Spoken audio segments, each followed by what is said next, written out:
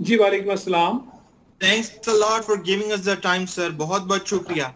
मैं आपको का, पिछले काफ़ी अरसे से टीवी पे ऑन एंड ऑफ़ सुनता रहता हूँ आपकी expertise in technical expertise in terms of military affairs as well as political affairs sir आप मुझे बताएगा आप एयर मार्शल रिटायर हुए आपने कितने साल पाकिस्तान एयरफोर्स में जॉब की है टोटल मैंने पाकिस्तान एयरफोर्स में कोई तकरीबन 35 इयर्स जॉब किया। और this is starting from 74 when I was commission और मैं रिटायर हुआ 2009 में। 2009 में। दैट इज़ नियरली 35 इयर्स और अगर आप इसमें कैडेट सर्विस भी बनाएँ तो you can add another about four years so if that service is counted तो 39 then you can then you can make it about 38 39 years. Yes. That's right. I see sir आपकी मैं समझू 39 years of Pakistan air force की service है। आपने join किस उम्र में किया था 19 में?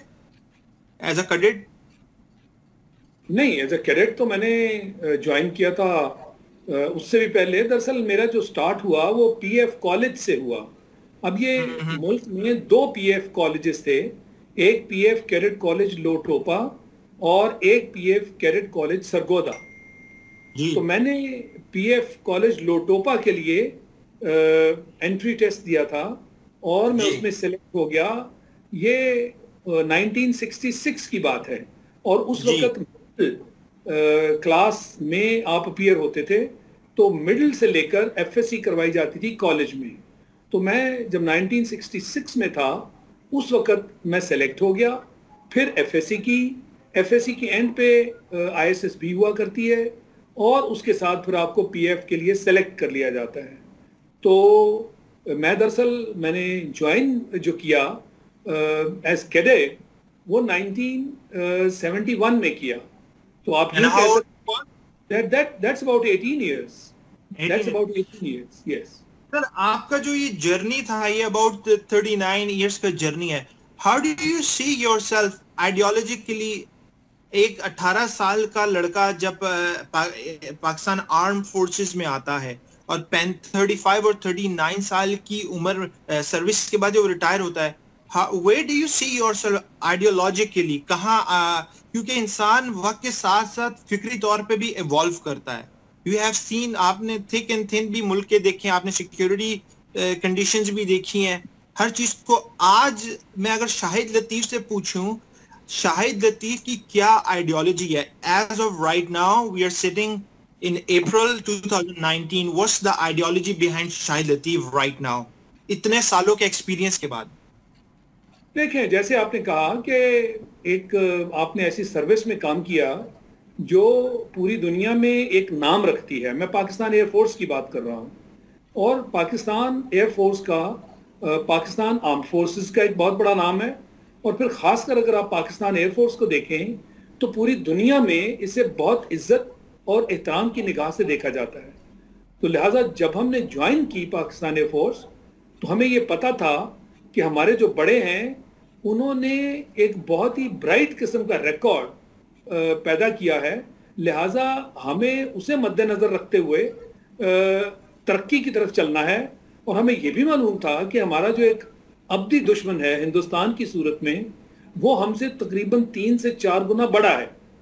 तो एक तरफ़ क्वांटिटेटिव उसके पास सबकत हासिल थी उसे हम पर। हमें बताया गया कि आप क्वालिटी से ही उसके साथ नबर्द आजमा हो सकते हैं। लिहाजा हमने अपनी ट्रेनिंग और हमारा जो जज्बा है, उसको स्ट्रेंथ देना थी कि हम एक से यानी हमसे तीन गुना बड़ा जो हमारा दुश्मन है, उस पर अगर हमने काबू पाना है, सबकत हासिल करनी है तो हमें अपनी ट्रेनिंग भी अला तरीन करनी है, हमें अपनी क्वालिटी पर ज़ोर देना है। तो ज़िंदगी में जो आइडियोलॉजी जिसकी आपने बात की, जो मैंने सीखा, वो यही सीखा कि जब आप कम तादाद में हो तो आपका एक बड़ी तादाद वाले से या क्वालिट क्वांटिटेटिवली जिसको आप बड़ा कहते हैं, उससे मुकाबला हो तो फिर आपने बर्तरी हासिल करने के लिए अपने अंदर वो क्या खूबियाँ पैदा करनी है? और जैसा कि हम जानते हैं कि पाकिस्तान जब से पैदा हुआ, जब से क्रिएट हुआ, पाकिस्तान ने एक अपनी बका की जंग लड़ी है। जिस तरह पाकिस्तान मार्ज वजूद में आया, वो भी हमें सबको मालूम है। हमारे बड़ों की कितनी बड़ी कुर्बानियाँ थी। और फिर इसको कायम और दायम रखने के लिए ये कुर्बानियों की एक लंबी दास्तान है। और आज भी वो ख़त्म नहीं हुई। यानी पाकिस्तान के अंदर जैसे दहशत गर्दी हम पर मुसलत कर दी गई और हज़ारों लोग जो हैं हमारे कुर्बानियों की नज़र हो गए। हमने दी ताकि पाकिस्तान को महफूज रख सके। पाकिस्तान को महफूज रखना हमारी तरजीहत में नंबर एक चीज़ है।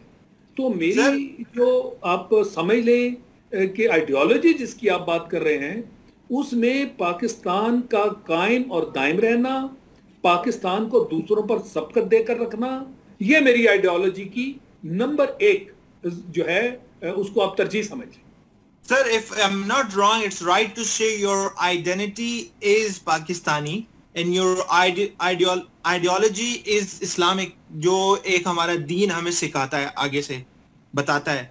तो ये जो मैंने पाकिस्तान मिलिट्री में देखा, पाकिस्तान मिलिट्री का जो एक डॉक्ट्रेन है, वो बहुत ही प्रो इस्लामिक है राइट सर इस्लाम के ऊपर है इस्लाम हमारी असास है। मगर मैं जब पीछे मुशर्रफ ईरा में जाता हूँ, वो मुझे एक रोड होता हुआ नज़र आया। एक सेकुलरिज्म को लाने की कोशिश की गई। थ्रू फोर्स मैंने देखा और फू, और फिर ये भी मैंने कहते सुना कि हमें जो है वो इस एक्सट्रीम आइडियोलॉजी को छोड़ के रेडिकलाइजेशन कॉल उनके रेडिकलाइजेशन थी, छोड़ के हम लोगों को मोर मॉडरेट होना पड़ेगा। तो एक उससे उससे आपने, आप उस इरा में रहे, आपने अंदर कैसे देखा कि एक, जब एक फोर्स को आइडियोलॉजिकली ये ट्रेन किया जाता है, शहादत के जज्बे के ऊपर ट्रेन किया जाता है। मगर अचानक से उसका एक सिपा सलार आता है, जो एक टोटली कहता है सेकुलर मेंटालिटी लेकर आ रहा होता है। उससे कैसा मोराल अंदर कैसा था उस वक्त? क्योंकि क्योंकि हम लोग बाहर बैठे, हम भी काफ़ी कंफ्यूज होना शुरू हो गए थे, ये हो क्या रहा है? आर्म फोर्सेस की ट्रेनिंग जो है वो आइडियोलॉजिक आइडियोलॉजिकली बड़ी प्रो इस्लामिक थी बट जो उस टाइम आपका जो लीडर था वो सेकुलर माइंडेड हो चुका था और वो सेकुलरिज्म लाना चाहता था हमारे ऊपर। देखिए, मैं एक बात बड़े वसूख से आपके साथ शेयर करना चाहता हूँ कि किसी एक फर्द के बदलने से या उसकी तवज्जो ज़्यादा सेकुलरिज्म की तरफ़ जाने से जो पाकिस्तान की अफवाज हैं, उनकी जहनीत नहीं बदलती। जो हमारे लोग जिन्होंने असल में मैदान में आगे बढ़कर दुश्मन का मुकाबला करना है, वो वो लोग हैं जिनका जज्बा बहुत मज़बूत है, जो इस्लाम के जज्बे से सरशार हैं, जो शहादत को अपना मकसद हयात समझते हैं। लिहाजा हमारे जो, जिसको आप असल फौज कह सकते हैं उसका जज्बा अपनी जगह हमेशा से मौजूद रहा है। और अगर किसी फर्द वाहिद ने इस दौरान मॉडर्निज्म की बात की या सेकुलरिज्म की बात की तो वो उसका ज़ाती ख्याल तो हो सकता है, मगर इसका रैल के ऊपर किसी किस्म का मनफी असर आज तक न तो फौज में होते मैंने देखा और ना ही फौज इसको कभी कबूल करने के लिए तैयार थी। लिहाजा बेशक आप जैसे कह रहे हैं कि आप बाहर बैठ के ये बातें सुन रहे थे मॉडर्निज्म की बातें सेकुलरिज्म की बातें मॉडरेशन की बातें ये अपनी जगह मौजूद हैं। और जैसे मैंने कहा कि ये इस तरह के, इस तरह की बयानबाजी भी आपको बहुत सुनने में आई होगी, मगर जो आपका फाइटिंग यूनिट है, उसके मोरल में, उसकी स्पिरिट में कभी फ़र्क नहीं आया। और वो इस बारे में बहुत क्लियर हैं और पाकिस्तान हमेशा इसी जज्बे से सरशार रहा। इसीलिए आपने देखा कि जब भी वो 1965 हो या उसके बाद आपने अभी जो 27 फरवरी को देखा, उसके दौरान, यानी जो इकहत्तर वाली बात है और फिर जो कारगिल वाला मामला है, मैं उसमें तो समझता ही नहीं कि हम कोई पॉलिसी के तहत कोई किसी कस्म की जंग हुई, क्योंकि वो एक तरह से सियासत का मंजरनामा था जो हमने देखा। जहाँ इस्तेमाल की गई आपकी अफवाज, खासकर पाकिस्तान एयरफोर्स जैसे पैंसठ में इस्तेमाल हुई।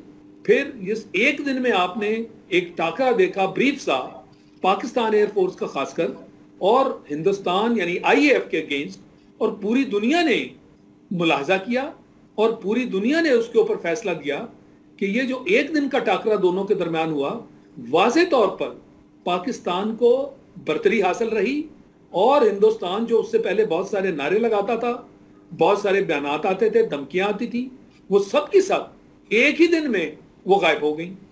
और दुनिया पर ज़ाहिर हो गया कि पाकिस्तान की अफवाज जो हैं, वो जज्बे से सरशार हैं, वो अपनी कुत का मुजाहरा भी करना जानती हैं, और पाकिस्तान एयरफोर्स ने भरपूर कुत का जो मुजाहरा उस एक दिन में किया, बहुत सारी चीज़ें उससे क्लियर हो सर तो पाकिस्तान एयरफोर्स की आप इतना, माशाल्लाह, इतना 39 इयर्स ऑफ़ सर्विस देखा जाए, पाकिस्तान एयरफोर्स की अपनी आइडियोलॉजी क्या है?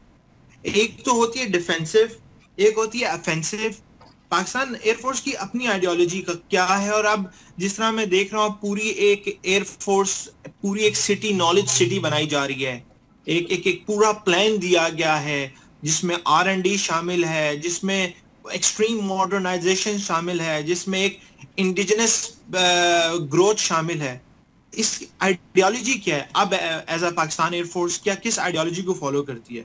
आइडियोलॉजी होती है एक तो जिस तरह मैं अमेरिकन मिलिट्री को देखता हूँ, उनकी आइडियोलॉजी है डोमिनेंस दुनिया के ऊपर डोमिनेंस है। और उसी उसी को वो ट्रिकल डाउन होती है ब्रिटेन में जर्मनी में फ्रांस में, चाहे वो चार चार पाँच पाँच करोड़ के मुल्क हैं, आठ करोड़ का ब्रिटेन सबसे बड़ा इनमें ब्रिटेन है। मगर छोटे छोटे मुल्क हैं साइज़ में भी छोटे हैं, पाकिस्तान से आबादी में तो बहुत ही छोटे हैं। मगर एक उन लोगों की आप जाए कंटिन्यूस उनकी मिलिट्री फोर्सेस की आइडियोलॉजी है dominance that's the only way we can be we can stay up here if we are not going to have a dominance we can never stay on top what is the real ideology of Pakistan air force as of right now okay जहाँ तक Pakistan air force का ताल्लुक है partially मैंने इसकी तरफ़ पहले भी इशारा किया कि पहले ही दिन जब हम पाकिस्तान एयरफोर्स में ट्रेनिंग के लिए जाते हैं, हमें बता दिया जाता है कि जो हमारा दुश्मन है, वो हमसे तीन से चार गुना बड़ा है। लिहाजा उसको क्वांटिटेटिव एज आप पे हमेशा होगी। लिहाजा आपकी ट्रेनिंग और क्वालिटी जो है, उसके उसके मुकाबले के लिए बहुत ज़रूरी है। तो हमारी जो इब्तदा होती है, वो इस माइंड सेट से होती है कि हमने अपने से तीन या चार गुना बड़े दुश्मन का मुकाबला करना है। लिहाजा हमें ध्यान अपनी क्वालिटी की तरफ़ देना होगा। दूसरी बात ओवरऑल अगर आप पाकिस्तान फोर्सेस आर्म फोर्सेस की डॉक्ट्रिन के बारे में पढ़ें तो हम कहते हैं कि हमारी जो स्ट्रैटेजी है वो डिफेंसिव है। यानी हम जारहियत का इरादा किसी पर नहीं रखते, क्योंकि हम ऐसी फोर्स हैं जो कि खासकर क्वांटिटी में दूसरों के मुकाबले में छोटी है। हमारे इरादे, ये जो डोमिनेंस वाली आप बात कर रहे हैं, वो तो दूर की बात है। हम तो ऑफेंसिव स्ट्रेटजी की भी बात नहीं करते, जो कि इंडिया में आपको नज़र आती है। यानी वो जारहियत जो हिंदुस्तान दिखाता है, वो उसके इर्द गिर्द जितने भी छोटे ममालिक हैं, वो जो पड़ोसी मुल्क हैं उसके, वो सब के सब आप देखें कि बार बार उन पर वो जारहियत का मुजाहरा उसकी तरफ़ से होता है। अच्छा पाकिस्तान खासकर ओवरऑल हमारी स्ट्रेटजी डिफेंसिव है और साथ हमारा एक और एक हमारा जो है डेटरेंस है जिसको हम न्यूक्लियर एस्पेक्ट कहते हैं कि रवायती तौर पर हमारी स्ट्रेटजी बिल्कुल डिफेंसिव है हम अपना दिफा करना जानते हैं और जो गैर रवायती जंग है उसमें हम कहते हैं कि हमारी, चूँकि हम न्यूक्लियर पावर हैं और छोटी पावर हैं, लिहाजा फ़र्स्ट स्ट्राइक की कैपेबिलिटी भी हमने खुद को उसका हक दे रखा है कि अगर हमें इस हद तक हमारे साथ कोई ऑफेंसिव तरीका इख्तियार करेगा और हम रवायती तौर पर उसका मुकाबला करेंगे, अगर हमें एक लिमिट तक कोई ले जाएगा ऑफेंसिव हमारे खिलाफ स्ट्रैटेजी इस्तेमाल करते हुए तो फिर वो जो डेटरेंस है हमारा न्यूक्लियर डेटरेंस हम उसमें फ़र्स्ट स्ट्राइक कैपेबिलिटी या फ़र्स्ट स्ट्राइक की डेमोन्स्ट्रेशन जो है वो हमारा हक है। ये है हमारी ओवरऑल ओरिएंटेशन सर ये तो हो गई ओवरऑल ओरिएंटेशन ठीक है। But in terms of technology R and D capabilities because हमारा जो एनिमी है उसके हम इंटेंशन नहीं देखते उसके हम केपेबिलिटीज देखते हैं। And you know better than all of us हमारा जो एनिमी है, वो भारत नहीं है। भारत के पीछे लाइन से पूरे उसके, जो उसके सपोर्टर्स हैं, वो भी हैं, आप जानते हैं। और तो हमें सिर्फ़ एक भारत को देख के तो यू डोंट थिंक सो हमें भारत को देख के अपनी strategy banana is not the right thing to do it और और उसको अगर हम देख के लेट सपोज़ खाली बनाते भी हैं, फिर उससे बड़े चैलेंजेस भी फ्यूचर में हमें आते भी रहे हैं और आते भी रहेंगे। तो उसके लिए हमें और इतना अच्छा होना चाहिए, हमें, हम किसी भी इनसार ना करें। वी आर क्वाइट इंडिजिनस तौर पे इतने सेल्फ केपेबल हो we can counter any threat आपने बिल्कुल ठीक कहा। और इसका मुजाहरा हमने बखूबी सिर्फ़ उस एक दिन जो हमारा टाकरा हुआ हिंदुस्तान के साथ, उसमें इसका मुजाहरा हमने कर दिया। इसकी इब्तदा 1990 में हुई थी। आपको याद होगा कि 1990 में एफ़ सिक्सटीन हम ला चुके थे। और जब जंग अफ़गानिस्तान में बंद हुई, जिसके तहत अमेरिका ने हमें इस्तेमाल करते हुए रूस को हरा दिया और उसको अफ़गानिस्तान से निकाल दिया, ये वो कोल्ड वॉर का तकरीबन आखिरी मरहला था, जिसके अंदर उन्होंने रूस को शिकस्त दी और एक तरह से कम्युनिज्म को शिकस्त दी। सर मैं आपको इंटरप्ट कर रहा हूँ आप थोड़ा सा अपने लेफ़्ट पे हो जाए। कैमरे से थोड़ा सा बाहर हो रहे हैं आप। थोड़ा सा लेफ़्ट साइड पे आ जाए अपने। ओके अब थोड़ा सा थोड़ा सा और कीजिएगा।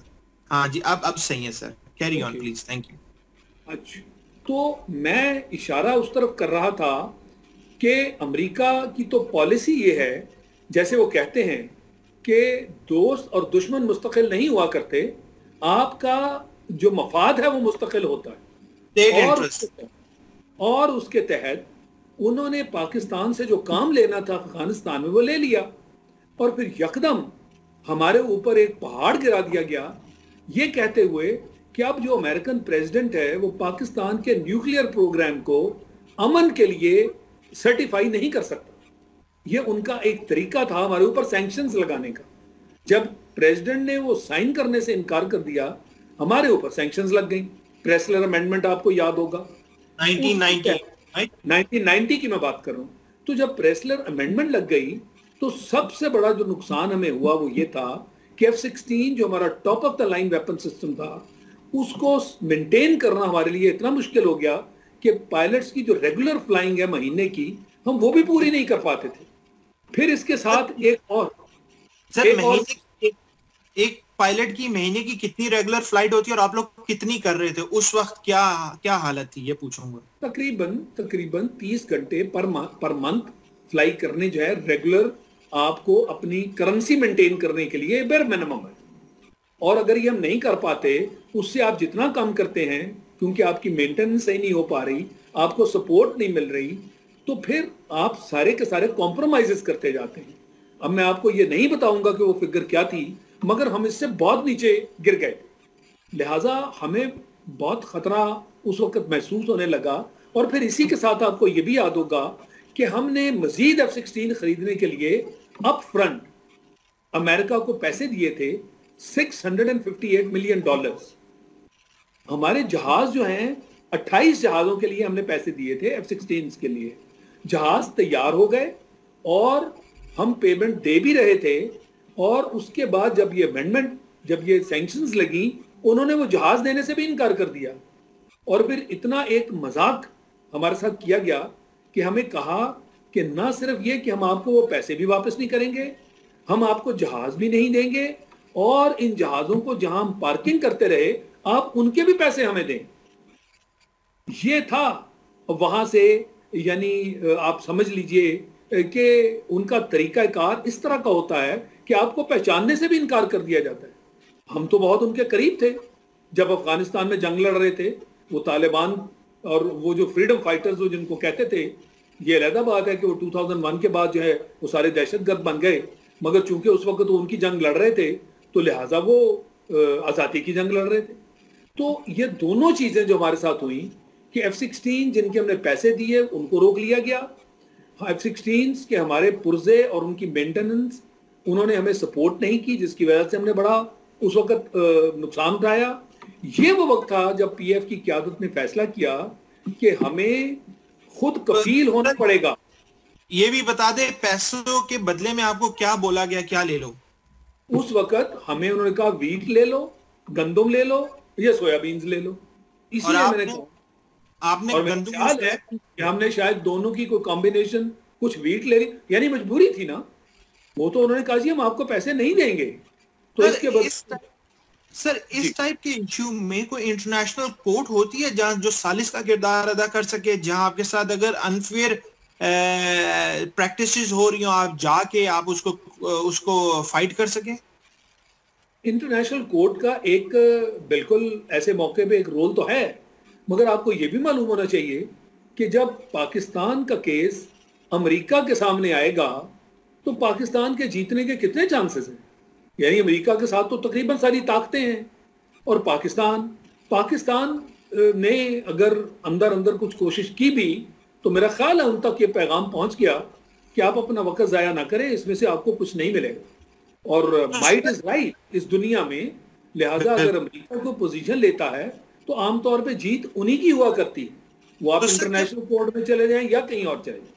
सर आप जब क्लॉज साइन करते हैं, जिस टाइप के कॉन्ट्रैक्ट साइन करते हैं, आप 20 फाइटर्स ले रहे हैं 30 ले रहे हैं 20 ले रहे हैं, जितने भी तो उसमें ये नहीं क्लॉज ये शामिल नहीं होता कि कि आप पैसे दे रहे हैं और किसी भी वजह से इसको रोक नहीं सकते, इस तरह पॉलिटिकल रीजंस लगा के और जब आप, ऐसी कोई चीज़ होती है इसके अंदर की नहीं? और जब, या शहनशाह का जब दिल चाहे, मूड खराब हो तो आपके रोक दे, पैसे लेके बस बैठ जाए। ये क्या यही तो बात है। कि आम हालात में आप, जो आपका कॉन्ट्रैक्ट है, उसको वायलेट नहीं कर सकते। मगर अब हम क्या करें कि इसको आप कहें कि जी, ये इनएविटेबल किस्म के सर्कमस्टांसेस उन्होंने बना दिए कि जनाब, इससे तो आपकी छूट है ही नहीं। ये ऐसी चीज़ हो गई जिसके तहत हमें सैंक्शंस लगाना पड़ी और सैंक्शंस में वो इसको कवर कर लेते हैं। कि हमने कोई भी वादा किया हो, जब हम पाबंदियाँ लगा देंगे, देखे ना, ईरान के साथ क्या हुआ? कितनी पाबंदियाँ लगाई, फिर उनके साथ उन्होंने कॉन्ट्रैक्ट भी किया, वो उससे भी पीछे हट गए। ये आपके, अब तो अभी रिसेंट टाइम्स में हुआ है ना। लिहाजा अमेरिका जैसी ताकत, जो कि अब सोल सुपर पावर रह गई, उसके पास तो हज़ारों बहाने हैं। तो पाकिस्तान की वो कोई गुंजाइश नहीं बनती कि हम उनके साथ कोई मुकदमे लड़े। मगर हमने फैसला उस वक्त बिल्कुल सही किया कि हमें खुद इनहसारी की तरफ़ चलना है।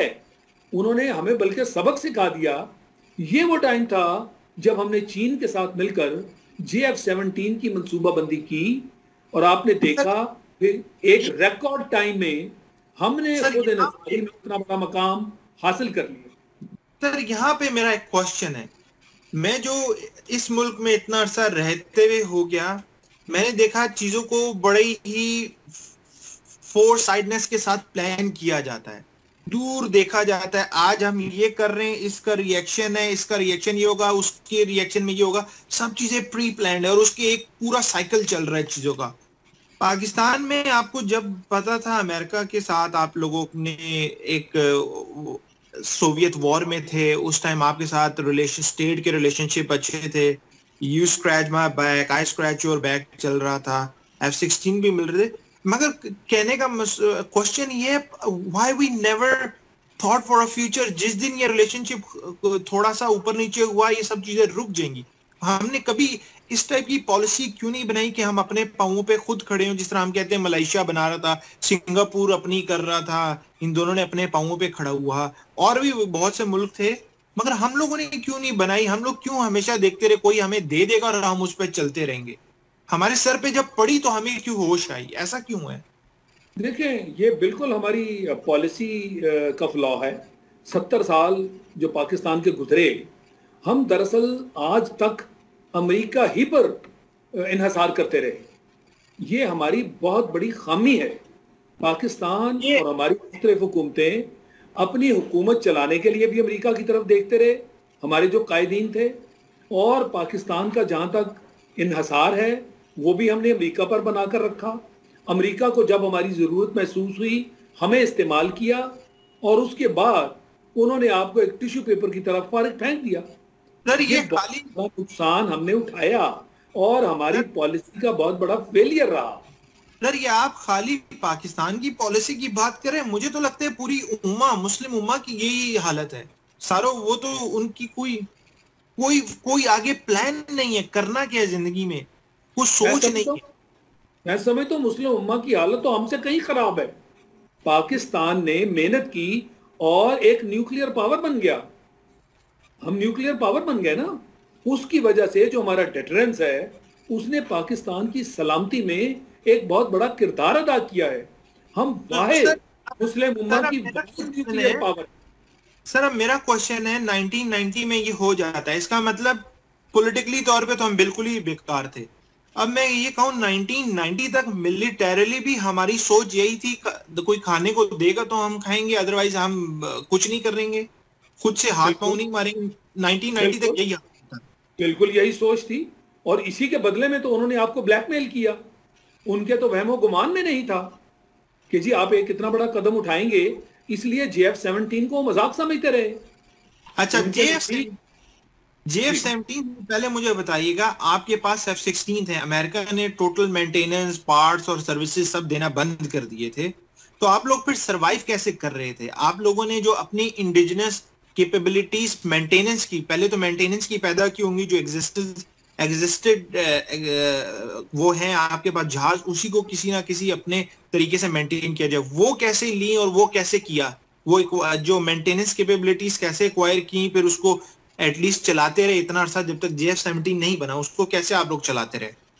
देखें एक चीज़ होती है जिसको आप ओ e कहते हैं ओरिजिनल इक्विपमेंट मैन्युफैक्चरर जो कि इस केस में अमेरिका था।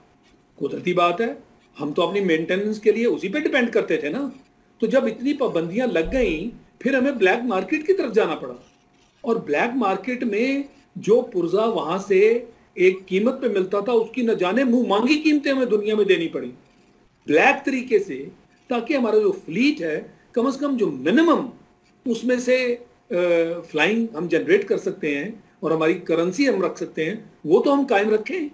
ये वजह थी जिसके तहत हमें बड़ी तेज़ी थी कि हम खुद निसारी की तरफ़ भागम दौड़ करते हुए आगे बढ़े। ये वजह थी कि जे एफ़ सेवनटीन हमने एक रिकॉर्ड टाइम में बना लिया। ये जो आप जब आप जब कहते हैं अपनी करेंसी रख सकते हैं इसका क्या एग्जैक्ट मीनिंग है?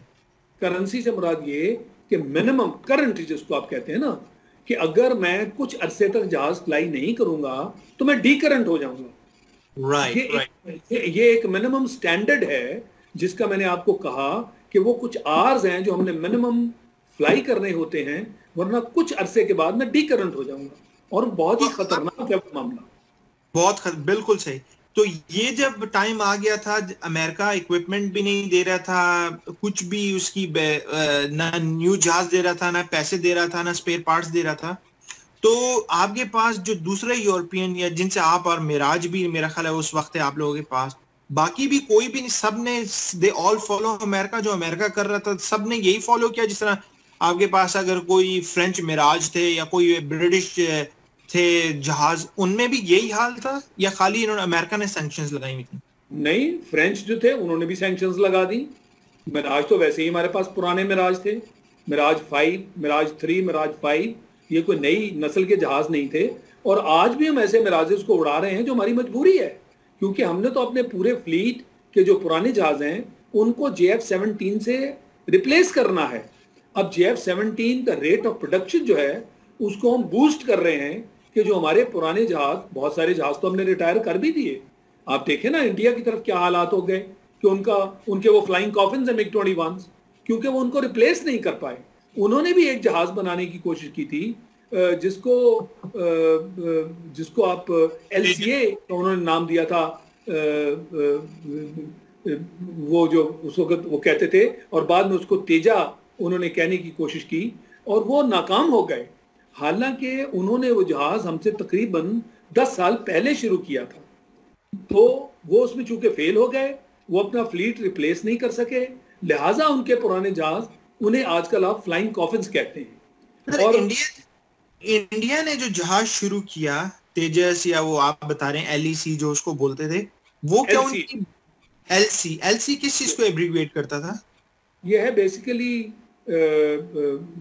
low combat aircraft low combat sir ये जो इंडिया ने बनाया इंडिया क्या जिस तरह हमने चाइना के साथ मिलकर बनाया इंडिया क्या इंडिजिनस बना रहा था या इसके पीछे रशियन एक्सपर्टीज थी उनके साथ कौन था उस टाइम इंडिया में इंडिया समझता था कि वो खुद चूँकि उनके पास तो एक इंडस्ट्री थी एयरक्राफ्ट मैन्युफैक्चरिंग की पुरानी इंडस्ट्री थी और बहुत ही एक्सपेंडेड किस्म की थी वो समझते थे कि जो उनके पास उस वक्त तक रशियन टेक्नोलॉजी है और जो उनका नॉलेज है उसके मुताबिक वो अब ज़ाती तौर पे इस पोजीशन में है कि ये जहाज़ वो बना सकते हैं। मगर वो इतनी इन्वेस्टमेंट भी करते रहे और फाइनली वो इसमें फेल हो गए। मगर हमने जो रास्ता इख्तियार किया, वो कहीं बेहतर था कि ब्रेनवेयर हमारी थी। हम एफ़ सिक्सटीन भी फ्लाई कर चुके थे। मिराजेज भी फ्रेंच हैं। हमारे पास यूरोपियन और अमेरिकन टेक्नोलॉजी और उनके जहाज़ों का ऑपरेशन उसका नॉलेज हमें था। मगर हमने चीन के साथ मिलकर यह काम इसलिए करना मुनासिब समझा कि चीन के यहाँ मैन्युफैक्चरिंग की इंडस्ट्री थी हमारे यहाँ कुछ नहीं था। ये वो रूट था जो हमने लिया और इसमें ब्रेनवेयर हमारा था और ये समझ कि हार्डवेयर जो है वो चीन का था और ये कामयाब तजर्बा रहा रहा और हम कामयाब हो गए। सर इसमें एक क्वेश्चन है मैंने ये पढ़ा था कहीं कि ये जो प्रोजेक्ट आपने जे एफ़ सेवनटीन को उठाया आई थिंक ये कोई रशिया और चाइना का था, फिर उन्होंने इसको स्क्रैप कर दिया because it was not workable तो आप लोगों ने उसी को दोबारा उठा के, और दोबारा उठा के उसके ऊपर वर्कआउट करके उसको फिर इज़ इट ट्रू ऐसी बात ही है कोई? नहीं नहीं this is not true this is not true ये भी एक र्यूमर है। लोग जो चाहते नहीं कि शायद हमें इसका क्रेडिट दें, उन्होंने कोई ऐसी अगर र्यूमर मॉन्गरिंग हुई है मैं आपसे पहली मरतबा सुन रहा हूँ कि किसी ने शायद ये बात की है जी कि रूस और चीन ने कोई चीज़ बनाने की कोशिश की और हम उसको हाईजैक करके ले गए। ऐसा हरगिज नहीं है। इसको हम रशिया चाइना के साथ मिलकर बना रहा था मगर ये उनके लिए फिर इतना बाद में इंटरेस्ट लूज कर दिया इतना फिजिबल नहीं था फिर उन्होंने छोड़ दिया। और फिर मैंने ये ऑनलाइन ही पढ़ा था कि चाइनीज़ ने आप लोगों को फिर बेचने के लिए कि आप लोग यही ले लें हमने इसके ऊपर काफ़ी ऑलरेडी वर्कआउट किया हुआ है। Why don't you get this one and start working on the same thing now? नहीं ऐसा नहीं है। हमने ये बकायदा ड्राइंग बोर्ड से इस जहाज़ को पिक किया इसकी डिज़ाइनिंग जो है हमें आ, हमने इसके लिए बकायदा प्लानिंग की जो हमारी रिक्वायरमेंट थी वो हमने चाइनीज़ के साथ शेयर की कि ये ये हमारी रिक्वायरमेंट है उसको हम ए एस आर कहते हैं। ये हाँ? किस ईयर में स्टार्ट हुआ? इनिशियल थॉट ये नाइनटीज का पीरियड है towards the late part of nineties ये सारा हमारा हाँ ये सारे का सारा हमारा जो वक्त था, ये ब्रेन में गुजरा। आपस में बातचीत करते रहे कि हम चाहते क्या है। तो जिसको हमने कंसीव किया, शुरू में एक रफ सा स्केच बनाया, उसके बाद इसको रिफाइन करते करते, जब हमने जेनुइन इस जहाज़ को लॉन्च किया, इसकी जो आप कह सकते हैं मैन्युफैक्चरिंग और डिज़ाइनिंग ये 2001 था, जबकि 90s में हमारी आपस में बातचीत तय हो गई थी। तो वो ये वक्त लगा, इसको कंसीव करते हुए, इसको रिफाइन करते हुए और यूँ हम 2001 तक पहुँच गए। और जब हमने फिर 2001 में इसको फॉर्मली लॉन्च किया तो हमने ये तहैया किया कि इसको कम से कम वक्त में बनाना है।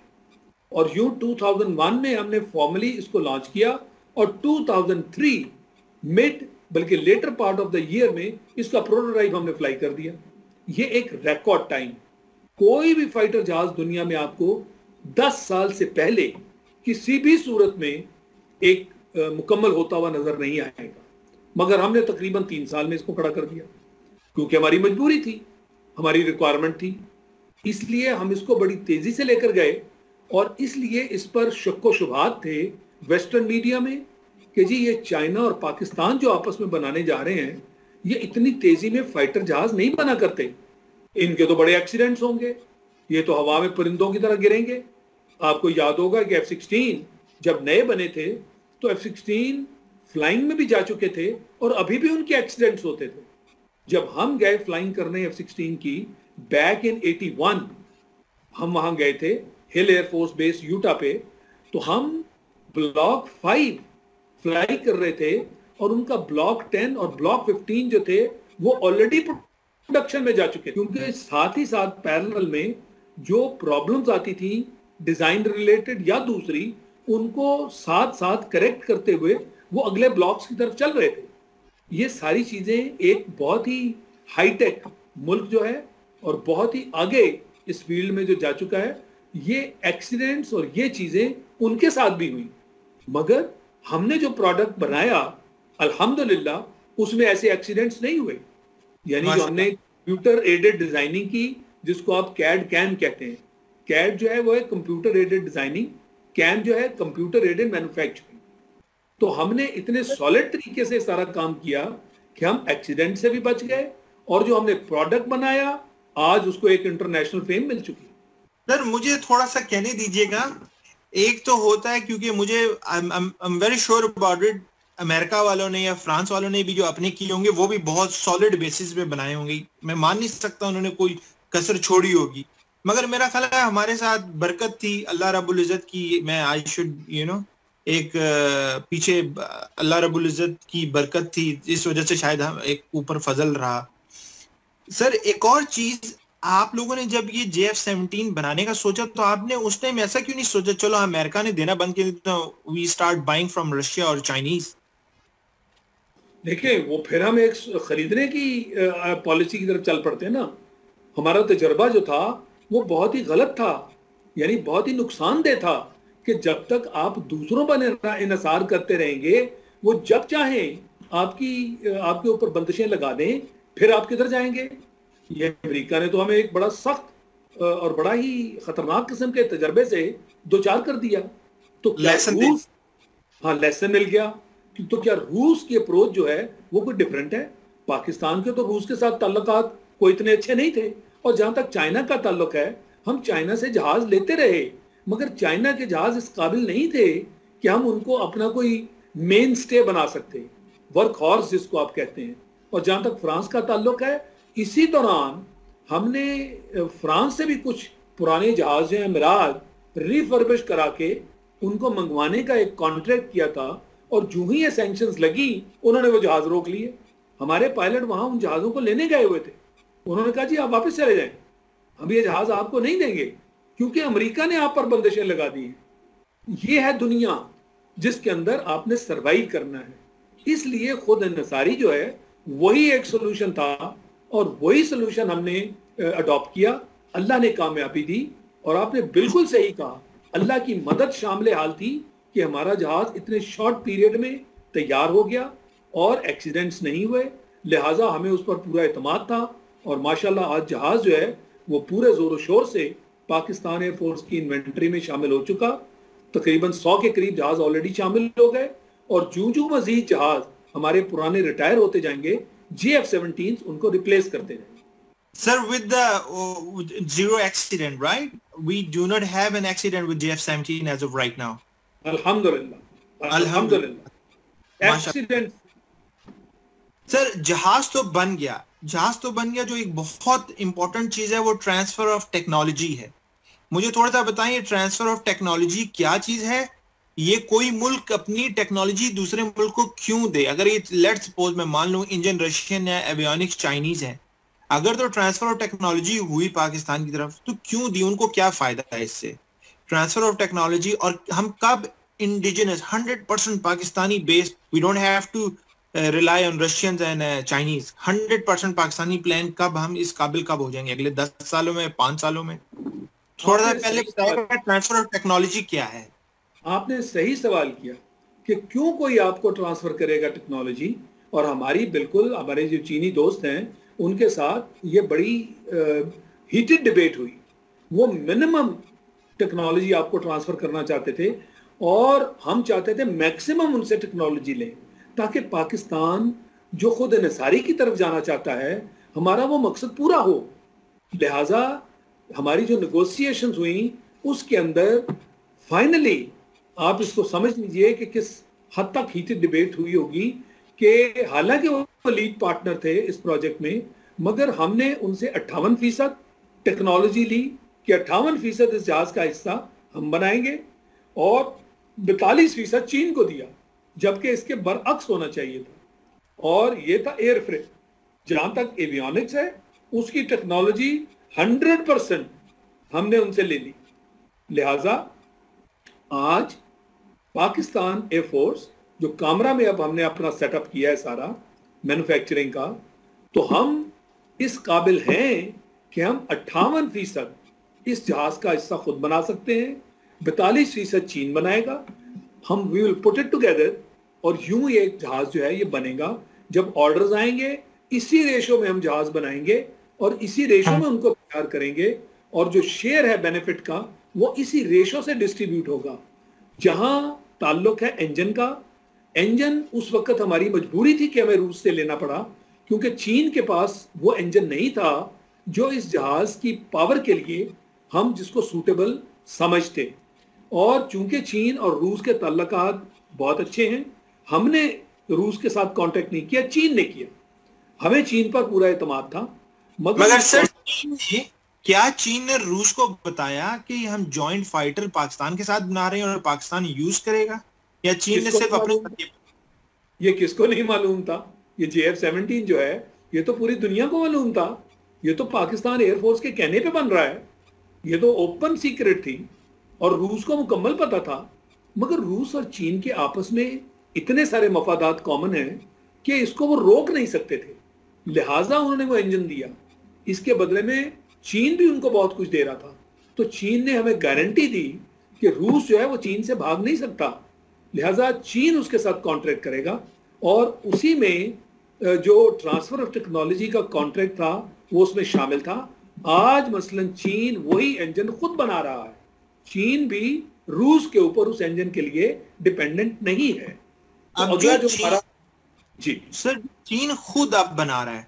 चीन अब खुद इंजन क्या ये चीन आपको जो आपका अजम प्रोग्राम आगे आ रहा है ये जो है क्या कहते हैं आप चीन लोग चीन से ट्रांसफ़र ऑफ़ टेक्नोलॉजी करेंगे या आप लोग खुद अपना आर एंड डी करके एक अपना खुद इंजन प्रोड्यूस करेंगे? नेक्स्ट नेक्स्ट जनरेशन जहाजों के लिए क्या उसमें किस तरह करेंगे फिर?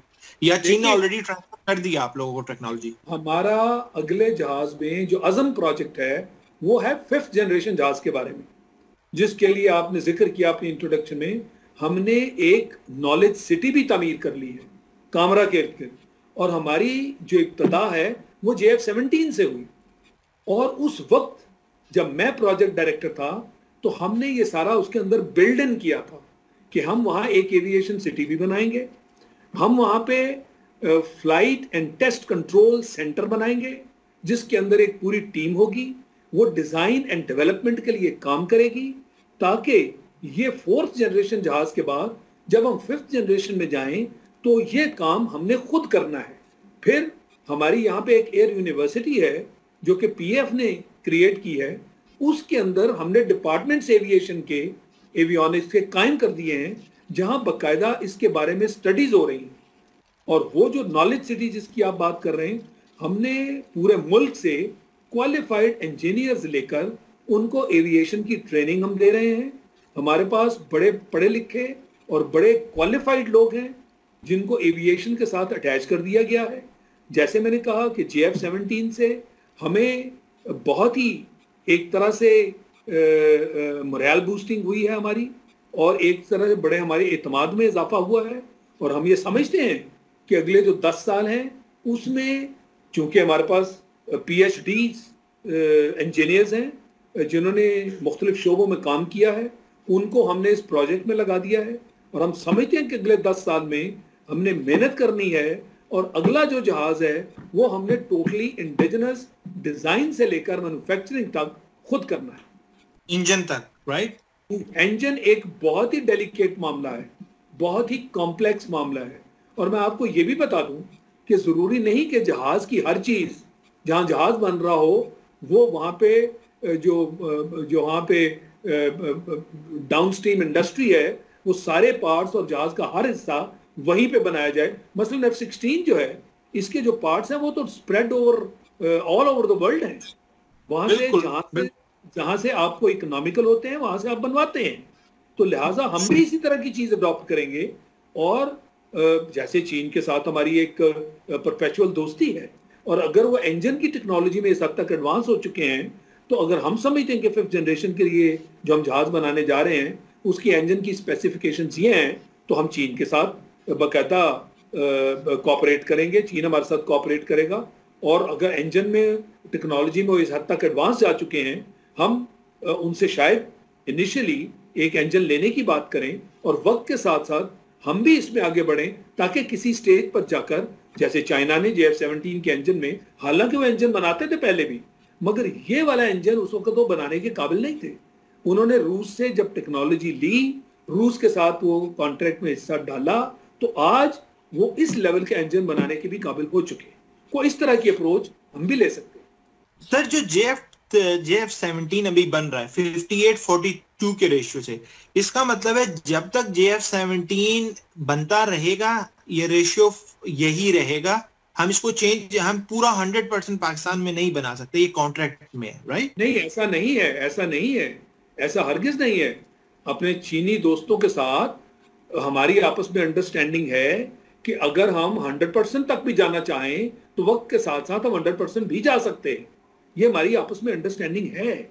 मगर सारी टेक्नोलॉजी को एब्जॉर्ब करना और इतना बड़ा इंफ्रास्ट्रक्चर क्रिएट करना, ये बहुत कॉस्ट इंटेंसिव है। लिहाजा हमने भी ये देखना है कि क्या वाकई हम हंड्रेड परसेंट खुद बनाना चाहते हैं। जैसे मैंने आपको मिसाल दी कि America hundred percent F sixteen खुद नहीं बनाता। ये इकोनॉमिकल नहीं है। तो उसी पैटर्न को फॉलो करते हुए हम देखेंगे कि कितना एक ये कॉस्ट इफ़ेक्टिव है। या ये वो जो कॉस्ट वर्सेस बेनिफिट रेशियो जिसकी हम बात करते हैं, क्या हमें इतना बेनिफिट है कि हम इसको 100 परसेंट तक ले जाएँ? या हम 58 ही रखें और 42 जो है चाइना करता रहे, आपस में जब ऑर्डर्स आए तो उसको हम पूरा करते रहें। तो मैं समझता हूँ हमारे पास ऑप्शन हैं। इनको हम इवेल्युएट करेंगे और उसके मुताबिक अगला कोर्स ऑफ़ एक्शन जो है, उसको अडॉप्ट करेंगे। सर, ये जो जे एफ़ सेवनटीन है अभी इसको एक्सपोर्ट करने की भी बातें हो रही होती हैं। मैंने देखा कहीं अल्जेरिया की बात आती है, कहीं श्रीलंका कहीं कहीं म्यांमार बर्मा की बात आ रही है। तो how successful we are so far Malaysia की भी अभी हिमातिर मोहम्मद आए हुए थे, बात हो रही थी। हाउ सक्सेसफुल बिकॉज़ एक, हमारी एक लिमिटेड कंजम्पशन है। हम जो इतना बड़ा प्रोडक्शन कर रहे हैं, हम लोग इसको पैसे कमाने के लिए बेचना तो हमें पड़ेगा कहीं ना कहीं। How successful we are so far selling this type of aircraft right now? देखिए आज तक अगर इसमें इतनी कामयाबी नहीं हुई तो उसकी वाहिद वजह एक अमेरिका और दूसरा यूरोपियन ममालिक। आप एक तरह देखें ना कि फ्रांस में, for example, Eurofighter Rafale, Sweden में ग्रिपन ये सारे इसी फोर्थ जनरेशन के जहाज़ हैं, जिनका कंपैरिजन आप F sixteen J F seventeen इन जहाजों से करते हैं। अब वो जहाज़ जो हैं, वो जे एफ़ सेवनटीन से कहीं ज़्यादा बिकॉज़ वहाँ पे cost of man power is much higher J F seventeen उससे कहीं सस्ता है और वही क्वालिटीज का मालिक है जो कि वो जहाज़ है। उन्होंने हमें ब्लॉक किए रखा। अमेरिका ने इस सारी कैंपेन को लीड किया। जिस मुल्क में भी इसकी दिलचस्पी बनती थी, अमेरिका की तरफ़ से हुक्म जाता था कि नहीं जे एफ़ सेवनटीन मत लें। इसको छुपा के रखा गया। इसको ब्लॉक करके रखा गया। ये तो वो ट्वेंटी सेवन फेबर में पूरी दुनिया में इंट्रोड्यूस हो गया। कि जे एफ़ सेवनटीन नामी भी एक चीज़ है जिसने सू थर्टी को मार गिराया। सू थर्टी जो है वो तो रशिया का टॉप ऑफ़ द लाइन जहाज़ है। इंडियन इन्वेंट्री में टॉप ऑफ़ द लाइन है। Sir let me correct one thing मैंने जितना अमेरिकन मीडिया देखा है वो एफ़ सिक्सटीन बोल रहे हैं। हम तो कहते हैं कि हमारे अपने जे एफ़ सेवनटीन ने मारा है। मगर जो यहाँ ये प्रोपोगेट करते हैं वो उस जे एफ़ सेवनटीन का तो किसी जगह नाम नहीं आया। मैंने कई आर्टिकल्स पढ़े हैं मैंने न्यूज़ पढ़ी है ऑनलाइन चेक किया है इनकी लाइव न्यूज़ सुनी है। They don't even mention JF17 they always mention F16 I don't know आप लोगों की नज़र से चीज़ गुजरी है कि नहीं? देखिए, उसकी यही वजह है ना, जो मैं आपको कह रहा हूँ। वो नहीं चाहते कि JF17 दुनिया की नज़रों में आए। वो हरगिज ये नहीं चाहते। लिहाजा they are still singing songs of F16 जबकि हिंदुस्तान में हमारे यहाँ खुल्लम खुल्ला ये खबर आई कि हमने जे एफ़ सेवनटीन इस्तेमाल किया। जे एफ़ सेवनटीन की क्वालिटीज एफ़ सिक्सटीन से भी बेहतर हैं। उसके ऊपर जो एवियोनिक्स है उसके ऊपर जो वेपन्स हैं उसका जो पीवीआर है उसका जो रेडार है वो ऑन पेपर उसकी क्वालिटीज और उसकी स्पेसिफिकेशंस एफ़ सिक्सटीन से बेहतर हैं। तो कोई वजह नहीं सर अभी तक 2019 we are in April end of April अभी तक आप कह रहे हैं कि हम लोग जो हमने बिल्कुल भी नहीं बेचा या कुछ बहुत कम ममालिक को बेचा और जो ना बेचने की वजह है वो मोस्टली अमेरिका है वो एक पूरी यूनियन ब्लॉक कर रही है इनको। Yes yes that is the reason that is the reason और अब आप देखेंगे इनशाला कि इसकी सेलिंग और इसकी जो मार्केटिंग है, वो आपको नज़र आनी शुरू हो जाएगी। असल में मैं हमेशा से ये कहता रहा कि ये जो हमारे जो दोस्त ममालिक हैं, खासकर ओ में उम्मा के उनमें सऊदी अरेबिया एक, एक तरह से लीडर समझा जाता है उस उस उस ग्रुप का। अगर ये हमसे एक स्क्वाडन भी ले लेते और मैं बार बार हुकूमत से ये बात करता रहा जहाँ कहीं मेरी एक्सेस थी कि आप उन्हें कहें कि हमें ये कोई डिलेड पेमेंट के ऊपर पेट्रोल या इस तरह के चंद बिलियन देना और फिर डेफर्ड पेमेंट्स पर वापस लेना? हमारे साथ मेहरबानी करें। ये वाली हमें आपकी तरफ़ से राइट नहीं चाहिए। आप हमारा एक स्क्वाडन खरीदें, ताकि दूसरे अरब ममालिक भी उसको फिर लेना शुरू करें। मगर मसला वही आता है, आपको मालूम है कि सऊदी अरेबिया के ऊपर अमेरिकन इन्फ्लुएंस कितना है। लिहाजा उन्होंने आज तक नहीं खरीदा। अब मैं समझता हूँ कि कुछ ममालिक जो इतने उनके इन्फ्लुएंस में नहीं है, मसलन सबसे पहले मैं मलेशिया से एक्सपेक्ट करता हूँ, फिर मैं इजिप्ट से एक्सपेक्ट करता हूँ। अल्लाह करे कि इस मामले में आगे हमारे भी एक दो और मुस्लिम ममालिक तुर्की जैसे, वो भी सामने आए, मगर तुर्की को आपको मालूम है कि एफ़ सिक्सटीन भी दिया हुआ है अमेरिका ने, वो भी उसके ऊपर कोई बंदिश लगाने की सोच सकते हैं। तो ये कुछ कुछ लिमिटेशंस हैं मगर अब चूँकि इसका एक नाम बना है, दुनिया की नज़रों में आया है, फिर प्राइस वाइज ये उन जहाज़ों से कम है, फिर पाकिस्तान और चीन की तरफ़ से आइंदा कोई बंदिशें लगाने का भी कोई खतरा नहीं है। मैं समझता हूँ कि इस जहाज़ की मार्केट अब मैं बड़ी तेज़ी से आगे बढ़ते हुए देख रहा तो सर आप अमेरिका की बात करते हैं मगर अगर मगर एक पूरी रशियन मार्केट भी है रशिया भी अपने जहाज़ अमेरिका के बाद सबसे ज़्यादा रशिया एक्सपोर्ट करता है तो आपको क्यों नहीं लगता कि रशिया भी इसको रोक रहा होगा? रशिया कोशिश करेगा मगर एक लिहाज से अगर आप देखें कि अब रशिया के पाकिस्तान के साथ तल्लकात कहीं बेहतर हो रहे हैं। हम उनके साथ को एक डील कर सकते हैं। और फिर चीन भी बीच में शामिल है। हम चीन को भी इस्तेमाल कर सकते हैं। चीन की रूस के साथ बड़ी दोस्ती है। तो रूस जो है, वो पाकिस्तान में उस तरह की रुकावट नहीं बनेगा, जैसे अमेरिका बनता रहा। क्योंकि अमेरिका के पीछे इसराइल है। जैसे आपने कहा कि हमें वाहिद इंडिया को अपना दुश्मन नहीं समझना चाहिए, असल में ये ट्राइंगल है पूरी, जिसके अंदर इसराइल अमेरिका और इंडिया, ये एक ही जगह खड़े हैं। और ये है जो पाकिस्तान के रास्ते में रुकावट बने हुए और पाकिस्तान के दुश्मनी के साथ जो दुश्मनी है हिंदुस्तान की, उसमें ये दो ममालिक हैं जो असल किरदार अदा करते हैं। तो लिहाजा ये एक अच्छी खासी हमारे खिलाफ एक तरह से रुकावटें बनाने वाले ममालिक हैं और हमें मेहनत करना होगी ओ आई सी को अपना किरदार अदा करना होगा कि इतने सारे ममालिक हैं, तकरीबन 58 के करीब, हमारी आवाज़ कोई क्यों नहीं सुनता? क्योंकि हम अपना किरदार अदा नहीं करते। हम जो है, हम आपस में भी बटे हुए हैं। हमारे अंदर तफरीक है, तकसीम है। लिहाजा दुनिया जो है, वो आपकी आवाज़ नहीं सुनती। जो हमारे मसाइल हैं, उस पर क्या मुस्लिम उम्मा इकट्ठी मिलकर इतफाक से कोई एक आवाज़ उठाती है? क्या फलस्तीन के मामले में कभी आपने एक आवाज़ सुनी? कश्मीर के मामले में आपने कोई एक आवाज़ सुनी? अभी तो अभी अगर हम जे एफ़ सेवनटीन की देखें चाइना का अपना इन्फ्लुएंस इतना ज़्यादा है तो चाइना अपने इन्फ्लुएंस से स्पेशली जो उसके वो हैं कंट्रीज़ हैं सार्क सार्क नहीं है उनका एक और है फोरम जो एशियन कंट्रीज़ का फोरम है। तो वहाँ पे चाइना आसियान आसियान के आसियान के प्लेटफॉर्म पे भी चाइना ने कभी इसको कोशिश नहीं की इसको बेच सके? वो इसलिए कि हमने भी कोई इतनी जोरदार तरीके से इसकी मार्केटिंग नहीं की, क्योंकि फ़िलहाल हम अपनी ही जरूरियात पूरी कर रहे हैं। और फिर चूँकि सबको नज़र आता है कि चीन जो है, उसने भी इतने एक्टिव तरीके से इसको परसू नहीं किया। चीन ने दरअसल अपना एक जहाज़ बनाया है, जे टेन के नाम से। और आप यूँ समझ लें, अब पिछले दिनों आपने देखा ट्वेंटी थर्ड मार्च पे उनके जो जे टेन थे, उन्होंने यहाँ पे एरोबेटिक्स भी की। वो भी एक इम्प्रेसिव जहाज़ है। तो उनके भी कुछ इंटरेस्ट हैं अपने। उनके अपने भी कुछ मफादात हैं।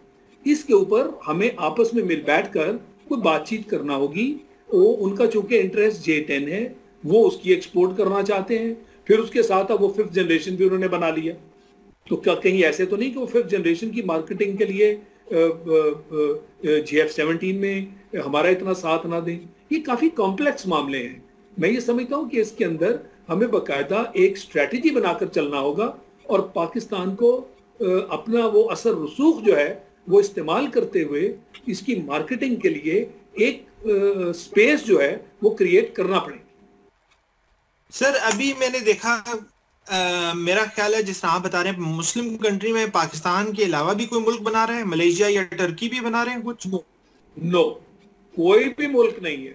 ये दो चीज़ें, एक तो ये जो एटमी ताकत और ये जो एटमी हथियार है, पाकिस्तान है सिर्फ़, और इसके साथ साथ आप देखें कि अमेरिका वक्तन फवक्तन ये कहता रहता है कि पाकिस्तान की तरफ़ से वो न्यूक्लियर प्रोलिफरेशन की बातें करता है।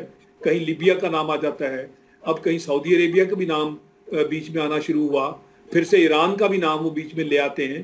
तो कोई भी इस्लामी मुल्क नहीं है जो न्यूक्लियर केपेबल है। कोई भी इस्लामी मुल्क नहीं है जो फाइटर जहाज़ों की मैन्युफैक्चरिंग डिज़ाइन एंड मैन्युफैक्चरिंग है, उसके काबिल नहीं है। ना कोई ये काम करता है। तो ये एक्सक्लूसिव कैपेबिलिटी है जो दोनों फील्ड्स में पाकिस्तान ने माशाल्लाह हासिल कर ली। सर मगर मैंने पढ़ा था Pakistan was trying to buy attack helicopter from Turkey right उनके पास अटैक हेलीकॉप्टर की टेक्नोलॉजी है। इस तरह की बात चली थी मगर मैं आपको ये भी बता दूँ कि हमारी स्ट्रेटजी का हिस्सा नहीं है। कॉम्बैट हेलीकॉप्टर्स हमारी स्ट्रेटजी में को बहुत प्रोमिनेंटली फिगर आउट नहीं करते।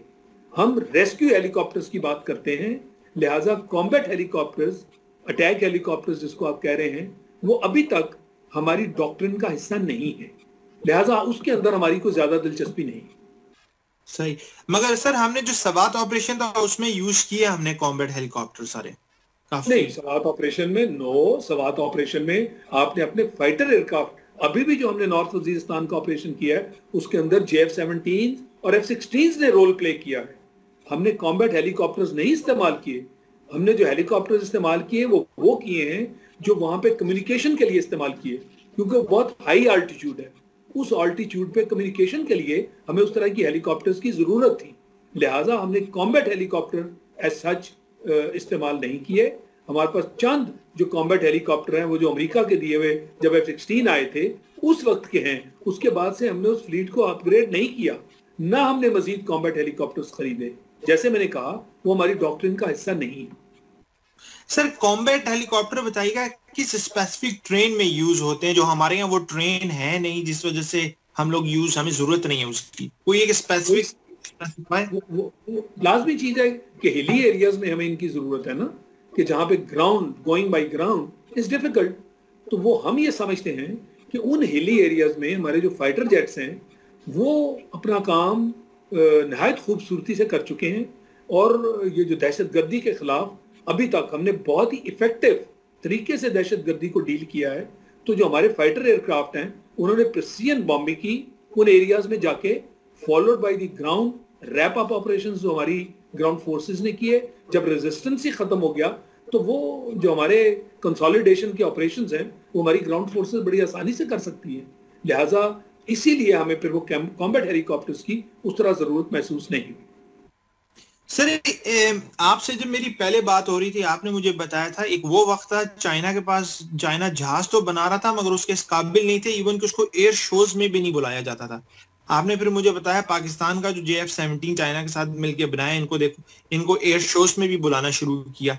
सर कोई एक स्पेसिफिक इसकी क्राइटेरिया होता है कि एयर शो में जहाज़ एक सर्टन क्राइटेरिया का होगा तो उसको बुलाया जाएगा? अगर ये क्राइटेरिया मीट नहीं करेगा तो इसको नहीं बुलाया जाएगा। क्राइटेरिया बड़ा सिंपल है कि जो टेक्नोलॉजी है वक्त की और जो कॉरपोरेट सेक्टर है, उसके अंदर जिस जहाज़ को आप बुलाएँगे, क्या वो कंपेटेबल है? बाकी जो टेक्नोलॉजी वाले जहाज़ हैं उनके साथ, क्योंकि वहाँ तो जहाजों की खरीदो फरोख्त का सिलसिला होता है ना। एयर शो का मतलब ही यही है कि वहाँ पे दुनिया आए और वहाँ पे जहाजों को देखे और वहाँ पे फिर ऑर्डर्स प्लेस होते हैं, जहाजों की परफॉर्मेंस देखी जाती है। और अगर कंपेटेबल जहाज़ नहीं होंगे तो जो जहाज़ कंपेटेबल नहीं है, उसको तो बहुत कम लोग देखेंगे। एयर शो में वो अट्रैक्शन ही नहीं बनेगा। लिहाजा एक मिनिमम स्टैंडर्ड है, जिससे कम जहाज़ है, उसको नहीं बुलाया जाता। और ये भी बात हकीकत है कि चाइना ने जे एफ़ सेवनटीन से पहले तकरीबन सारे जहाज़ जो हैं, वो वो थे जो रशियन की कॉपी की जाती रही। यानी उनकी मिक्स सीरीज़ के जहाज़ थे जिनकी कॉपी करते रहे। ये वो जहाज़ है जो हमने डिज़ाइन बोर्ड से बनाया, जिसका मैं बार बार ज़िक्र कर चुका हूँ। और इसी तरह जे टेन जो है उनका, वो भी एक उनकी अपनी पैदावार है। अब जो फिफ्थ जनरेशन है, इन्हीं दो जहाजों के एक्सपीरियंस से और मेन एक्सपीरियंस उनको जे एफ़ सेवनटीन से मिला, उससे उनमें अब इतना एतमाद आ गया कि वो अपना फिफ्थ जनरेशन जहाज़, जो कि रूस में और जो कि अमेरिका में लेटेस्ट टेक्नोलॉजी वाले जहाज़ हैं फिफ्थ जनरेशन के, उसके मुकाबले का बना है। अब आप वक्त के साथ साथ देखेंगे कि इन तीनों ममालिक के फिफ्थ जनरेशन के जहाज़ हैं, उनके अंदर कंपटीशन होगा, जो कि पहले ऐसा नहीं था। सर, अभी पिछले साल एयर शो हुआ, जिसमें इंडिया का तेजस को बुलाया गया और हमारा जहाज़ नहीं गया बहरीन के अंदर।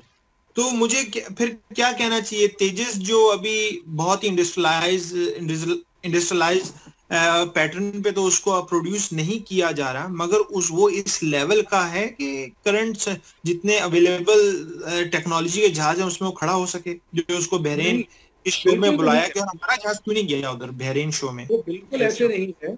सबसे बड़ी बात तो ये है कि अगर वो इस काबिल होता लाइट कॉम्बैट एयरक्राफ्ट एल जिसको हम कह रहे हैं अगर वो इस काबिल होता तो अपनी एयरफोर्स वो जो फ्लाइंग कॉफन फ्लाई कर रही है, उनको सबसे पहले रिप्लेस ना करती। हमारा जे एफ़ सेवनटीन चूँकि इस काबिल था तो इससे पहले कि हमारे मिक्स सीरीज़ के जहाज़, वो भी फ्लाइंग कॉफन बनते, हमने उनको रिप्लेस किया, क्योंकि हम उस पर इतमाद रखते हैं। हिंदुस्तान में तो वो इतमाद नहीं है। लिहाजा वो इस काबिल जहाज़ नहीं है कि एयर शोज़ में अपियर होता हुआ आपको नज़र आए। यही वजह है कि तेजस का नाम नहीं कहीं लिया जा रहा। और वो फेल हो चुके। और यही वजह है कि उस दिन प्राइम मिनिस्टर मोदी है वो शोर मचाता हुआ दिखाई दिया कि अगर रफाल होते तो नतीजा ही कुछ और होता। उसने तो तेजस का नाम क्यों किया? बहरीन में उसको क्यों बुलाया गया और हम हमने क्यों नहीं शिरकत की बहरीन एयर शो में? मेरे ख्याल में देखिए बहरीन एयर शो को इतना बड़ा एयर शो नहीं है। हम जब एयर शोज़ की बातें करते हैं ना तो हम इंटरनेशनल एयर शोज़ जिसमें फानब्रो है जिसके अंदर फ्रेंच एयर शो है जिसके अंदर टर्किश एयर शो है जिसके अंदर दुबई एयर शो है ये वो बड़े एयर शोज़ हैं जिनको गिना जाता है। तो बहरेन एयर शो को इतना बड़ा इंटरनेशनल उसकी फेम नहीं है। तो मेरे ख्याल में वो उन्होंने शायद जानबूझ के बहरेन के साथ कुछ बातचीत करके तेजा को दिखाने की कोशिश की होगी। जब तक वो बड़े एयर शोज़ में नहीं आता मैं नहीं समझता कि वो इस काबिल है कि उसको पिच किया जा सके लेटेस्ट फोर्थ जनरेशन जहाजों के अगेंस्ट ये बड़े एयर शोज़ जितने होते हैं ओनली बाय इनविटेशन होते हैं। आप खुद से नहीं ले जा सकते। बाय इनविटेशन हंड्रेड परसेंट जो एयर शो मैनेज करते हैं ऑर्गेनाइज उनकी तरफ़ से इनविटेशन आती है आपको। कि आप अपना जहाज़ एयर शो में लाएँ उन्होंने अपने एयर शो को कामयाब कराने के लिए कंपैटिबिलिटी को देखना होता है। और अगर कंपैटिबिलिटी नज़र नहीं आएगी तो एक स्टैंडर्ड से कम जो जहाज़ है उसको वो हरगिज इनवाइट नहीं करेंगे। सर, आपको नहीं लगता कि हमें इंडिया का और अमेरिका का शुक्र गुजार होना चाहिए? क्योंकि उन्होंने हम लोगों को इतना टफ टाइम दिया, आज शायद हम कुछ करने के काबिल हो गए। अगर इंडिया भी बर्मा या बांग्लादेश बना रहता, शायद आज आप लोगों को भी आज ये जेफ सेवनटीन बनाने की ज़रूरत नहीं पड़ती। अगर मैं तो कहता हूँ, मोदी जितना ज़्यादा सख्त होगा, उतनी ज़्यादा माइट भी हम एफर्ट करके टेक्नोलॉजी हासिल करेंगे, उतना ज़्यादा हम मुल्क को सही करने की कोशिश करेंगे। मैं तो समझता हूँ कि इंडिया से, जैसे आपने कहा कि इंडिया ही हमारा अकेला दुश्मन नहीं है असल दुश्मन उसके पीछे बैठे हैं। हमें तो शुक्रिया अदा करना चाहिए अमेरिका का, जो कि इन सब दुश्मनों का सरदार है। उसने हमारे ऊपर पाबंदियाँ जब लगाई तो तब हमें एहसास हुआ कि हमने अब अपनी सलाहियत की तरफ़ जाना है। तो लिहाजा खुद नसारी का जो मामला था, वो हमें अमेरिका ने सबक सिखाया। उसने हमें उस तरफ़ भेजा और हम चल पड़े। तो लिहाजा सबसे बड़ा शुक्रिया तो हमें अमेरिका का अदा करना चाहिए। बिल्कुल, ये जो बाकी दुश्मन है, दुश्मन तो सारे आपको सबक ही सिखाते हैं ना। तो सबक तो उन सबने हमें मिलकर सिखाया। मगर सबसे इनमें से जो बड़ा सबक हमें मिला, वो नब्बे की पाबंदियों का मिला। जिस वजह से हमने ये रास्ता इख्तियार किया।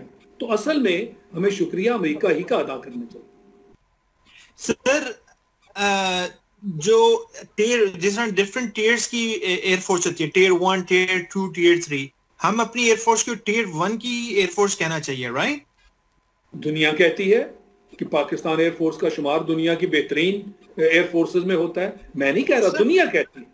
तो सर जो टीयर वन की एयरफोर्स है जो मैंने देखा है दुनिया में जिस जो मैंने पढ़ा है समझा है जिस तरह कहते हैं जी फ्रेंच है ब्रिटेन है अमेरिकन है रशियन है तो ये लोग जो है जहाज़ अपने बिल्कुल ब्रांड न्यू जो है इंडक्ट करते हैं लेटेस्ट टेक्नोलॉजी और जो पुराने अपने स्क्रैप uh, होता है। मैं स्क्रैप तो नहीं कहूँगा जो वो कहते हैं कि एब्सलीट वो इतनी अच्छी टेक्नोलॉजी पुरानी होगी है वो दूसरे मुल्कों को बेच देते हैं। राइट सर तो पाकि पहला क्वेश्चन है जो पाकिस्तान अपने जहाज़ जो अपग्रेड करता है पुराने जहाजों को क्या करता है? दूसरे मुल्कों को बेचता है क्या करता है?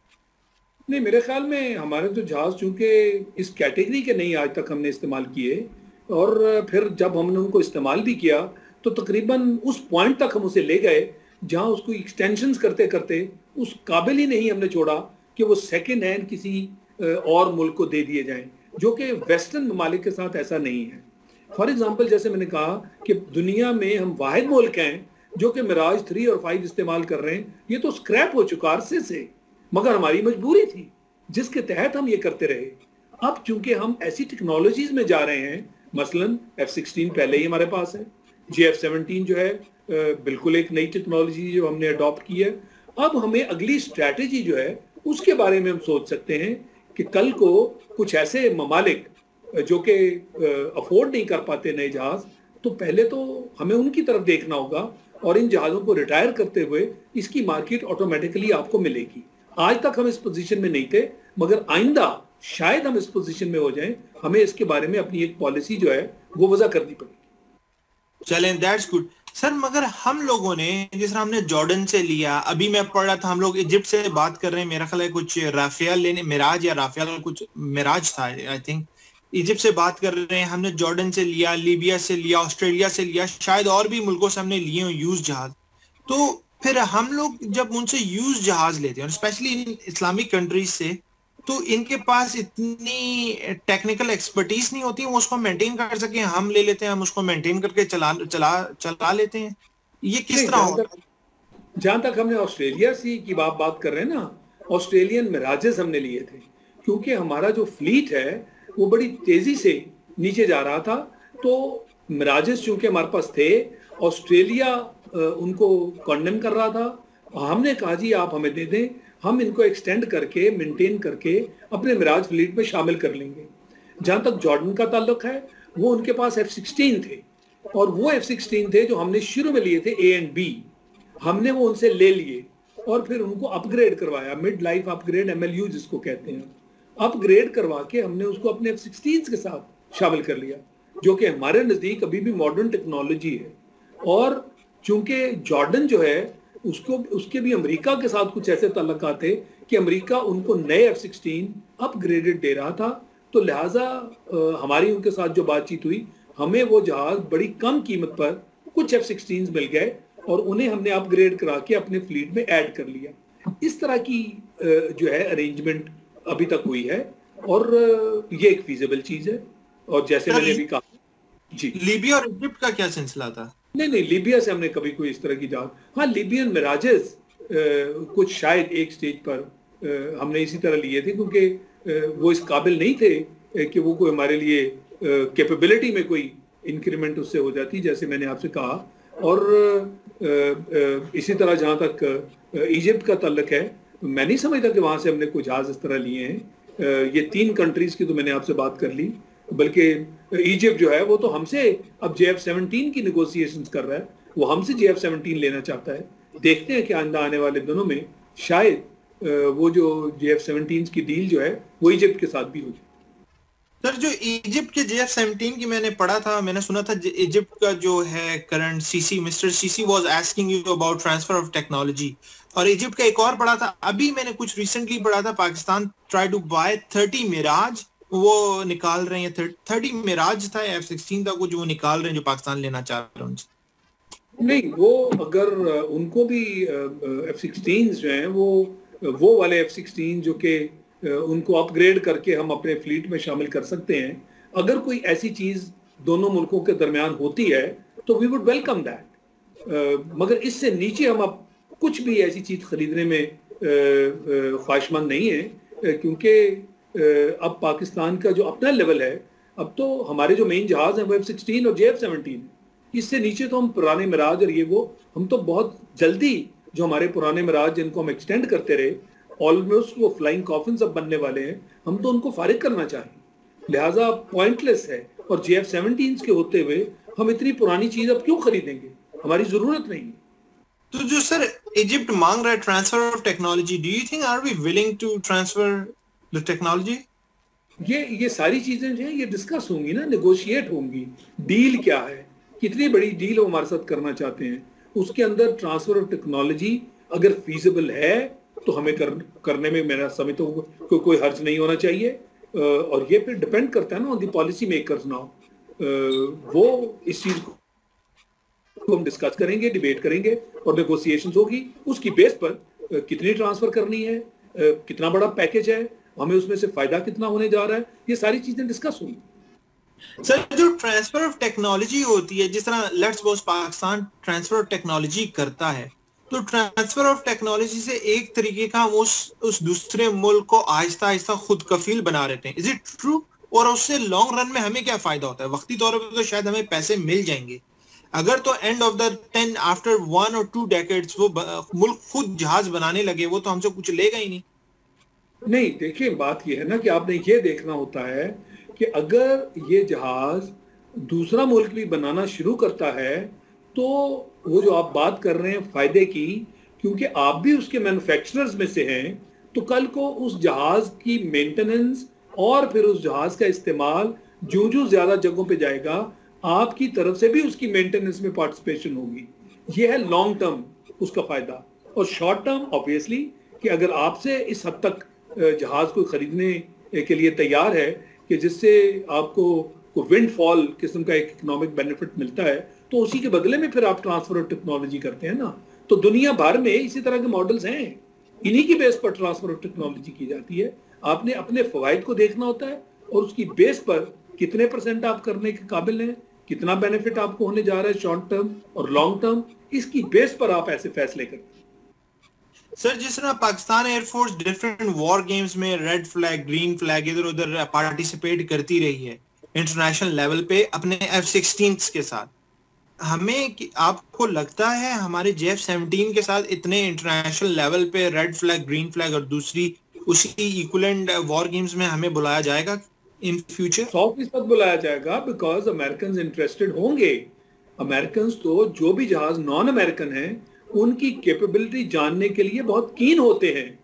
ये उनके फ़ायदे में है, ये उनके इंटरेस्ट में है कि जे एफ़ सेवनटीन को शामिल करें। हम चूँकि जे एफ़ सेवनटीन को अभी फुल्ली ऑपरेशनलाइज अभी हमने कुछ देर हुई है किया है और यकदम उसको इस जंग का सामना करना पड़ा। एक इस शॉर्ट एनकाउंटर का सामना करना पड़ा, जिसमें से माशाल्लाह वो नहायत कामयाबी से उभर कर सामने आया। तो अब भी हमने भी चूँकि उसको ऑपरेशनलाइज कर लिया है और आइंदा की जो एक्सरसाइजेस हैं, मैं समझता हूँ कि अमेरिकन इंटरेस्ट होगा कि हम जे एफ़ सेवनटीन को भी एफ़ सिक्सटीन के साथ शामिल करें। सर, जब आप लोगों के पास मेराजिस से एफ़ सिक्सटीन थे, इसकी ओवरऑलिंग और जितना रिपेयर काम था, ये आप अपना लोकल हमारे करते थे यहाँ पे।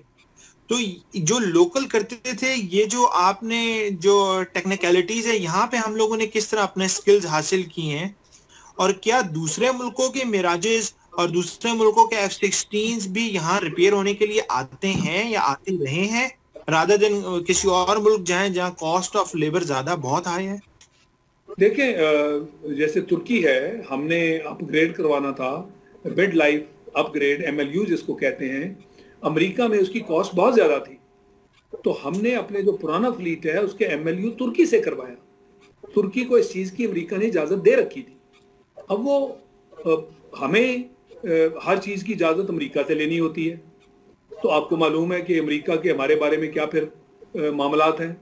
तुर्की के साथ उसकी रिलेशनशिप ज़रा डिफरेंट है कंपेयर टू पाकिस्तान। तो अमेरिका तो हमेशा अपनी रिलेशनशिप की बुना पर आपको इजाज़त देता है। और एफ़ सिक्सटीन का कोई भी काम जो है, वो अमेरिका की इजाज़त के बगैर आप नहीं कर सकते। आपने सौ फ़ीसद दुरुस्त कहा कि हम अपने फ्लीट को काफ़ी हद तक खुद सपोर्ट कर रहे थे। मगर हमें उस तरह की इजाज़त नहीं मिली कि हम दूसरे जो एफ़ सिक्सटीन हैं उनको भी पाकिस्तान में आने की इजाज़त दें और यूँ उससे भी हम एक इकोनॉमिक बेनिफिट हासिल कर सकें। ये अमेरिका ने हमें इस हद तक इजाज़त नहीं दी। Even with the mirages dissolved i think dissolved नाम था फ्रेंच कंपनी का दासो दासो दासो राइट तो वो मिराजिस का तो खैर सवाल ही पैदा नहीं होता। वो हम अपने मिराजिस को ही लुक आफ्टर करते रहे, वो दासो जो है, वो भी बहुत पोजेसिव है। वो तो इस हद तक मामला था कि उसका एक छोटा सा नट बोल्ट भी बहुत अरसे तक जब हमने मिराजेज लिए तो हमें उसको टच करने की इजाज़त नहीं थी, क्योंकि वो हमें हर सूरत फ्रांस से खरीदना पड़ता था, और न जाने वो कितनी महँगी कीमत पर हमें देते थे। यही वो चीज़ें हैं ना, जिसके तहत हम खुद निसारी की तरफ़ बढ़े, कि अपनी चीज़ बनाओ और अपनी लुक आफ्टर करो, क्योंकि जो लोग हैं, ये तो आपको फ्लीस कर देंगे। तो it's it's been a long journey अल्हम्दुलिल्लाह आज हम उस जर्नी में माशाल्लाह बड़ी तेज़ी से आगे बढ़े। सर ये जो आप मुझे बता रहे हैं हर कंट्री इसका अंदर हर कंट्री के साथ ऐसी इनकी नहीं होता। इनका कॉन्ट्रैक्ट ऐसा नहीं होता। किसी कंट्री को खुद कहते हैं आप खुद रिपेयर कर लें अपने मुल्क में हम आपको टेक्निकल फैसिलिटीज़ देंगे सारी परमिशन देंगे।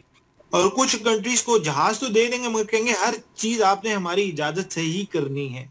Right right? डिपेंड करता है ना कि रिलेशन क्या है। आपकी कंट्री टू कंट्री रिलेशन क्या है? हाउ इजी और how difficult they to be with you for example अभी जो लेटेस्ट आपको पता है ना कि इंडिया जो है, वो बहुत सारी ऑप्शंस देख रहा है, कितना उसको तीन साल हो गए ऑलमोस्ट अभी तक वो जहाज़ फाइनलाइज नहीं कर पाए। उसमें एफ़ सिक्सटीन भी शामिल है। और लॉकिड मार्टन जो अब उसका, अब इसका मैन्युफैक्चरर है, उसने इनको को प्रोडक्शन की भी इजाज़त दे दी है कि आपका हम सेटअप वहाँ बनाएँगे, जिसके तहत आप खुद अपने एफ़ सिक्सटीन बनाए। इस हद तक उन्होंने इंडिया को आप समझे कि लॉलीपॉप दिखाया है। तो ये उसकी रिलेशन है इंडिया के साथ, खास रिलेशन है, जिसके बदले में वो इंडियन मार्केट से इकोनॉमिकली बहुत सारा फ़ायदा उठाने जा रहे हैं। वही जो उनकी डेफिनेशन है कि दोस्त और दुश्मन नहीं, आपके मफादात मुस्तकिल होते हैं। आज उसके जो मफादात हैं, वो हिंदुस्तान से पूरे हो रहे हैं। लिहाजा हिंदुस्तान की तरफ़ वो बड़ी तेज़ी से आगे बढ़ रहा है और हिंदुस्तान को वो बहुत सारी छूट देने के लिए तैयार है। तो आपने सही कहा कंट्री टू कंट्री उसकी जो उसकी जो ऑफर्स हैं वो वेरी करती स्टेट रिलेशनशिप सर मगर हमने जो एक हमारा जहाज़ दो तीन थे मेरा eighty I think eighty are navy के थे राइट हमने वो जो मेरा स्वीडिश स्वीडिश थे वो जो टेररिस्ट अटैक में काफ़ी नुकसान हुआ था उन जहाजों का हमने खुद इंडिजिनली यहाँ पे पाकिस्तान में टोटल रिपेयर किया if I am not wrong तो वो हमने खुद कैसे कर लिए फिर यहाँ पे? नहीं, देखिए, जो जहाज़ हम खुद रिपेयर करते हैं, हमारे इंजीनियर्स इस काबिल हैं कि हम जब वो एक्सपेरिमेंट करते हैं फॉर एग्जांपल ये जो हमने एरियाई वाले जहाज़ साफ़ 2000 जो कि हमने स्वीडन से लिए थे, पिछले टेररिस्ट अटैक में वो जहाज़, तीन जो जहाज़ थे, हमारे बहुत बुरी तरह डैमेज हुए थे। जब हमने बात की, स्वीडन से उनकी रिपेयर की तो वो इतनी कीमत मांग रहे थे, शायद उतनी कीमत में नए जहाज़ मिल सकते थे। फिर हमने ये फैसला किया कि हम अपने ही टेक्निकल क्रू जो हैं, उनकी एक्सपर्टीज जो है, उनको एम्प्लॉय करें। हमने वो टेक्निकल रिपेयर उन तीनों जहाज़ों की की और आज वो तीनों जहाज़ जो है फ्लाई कर रहे हैं।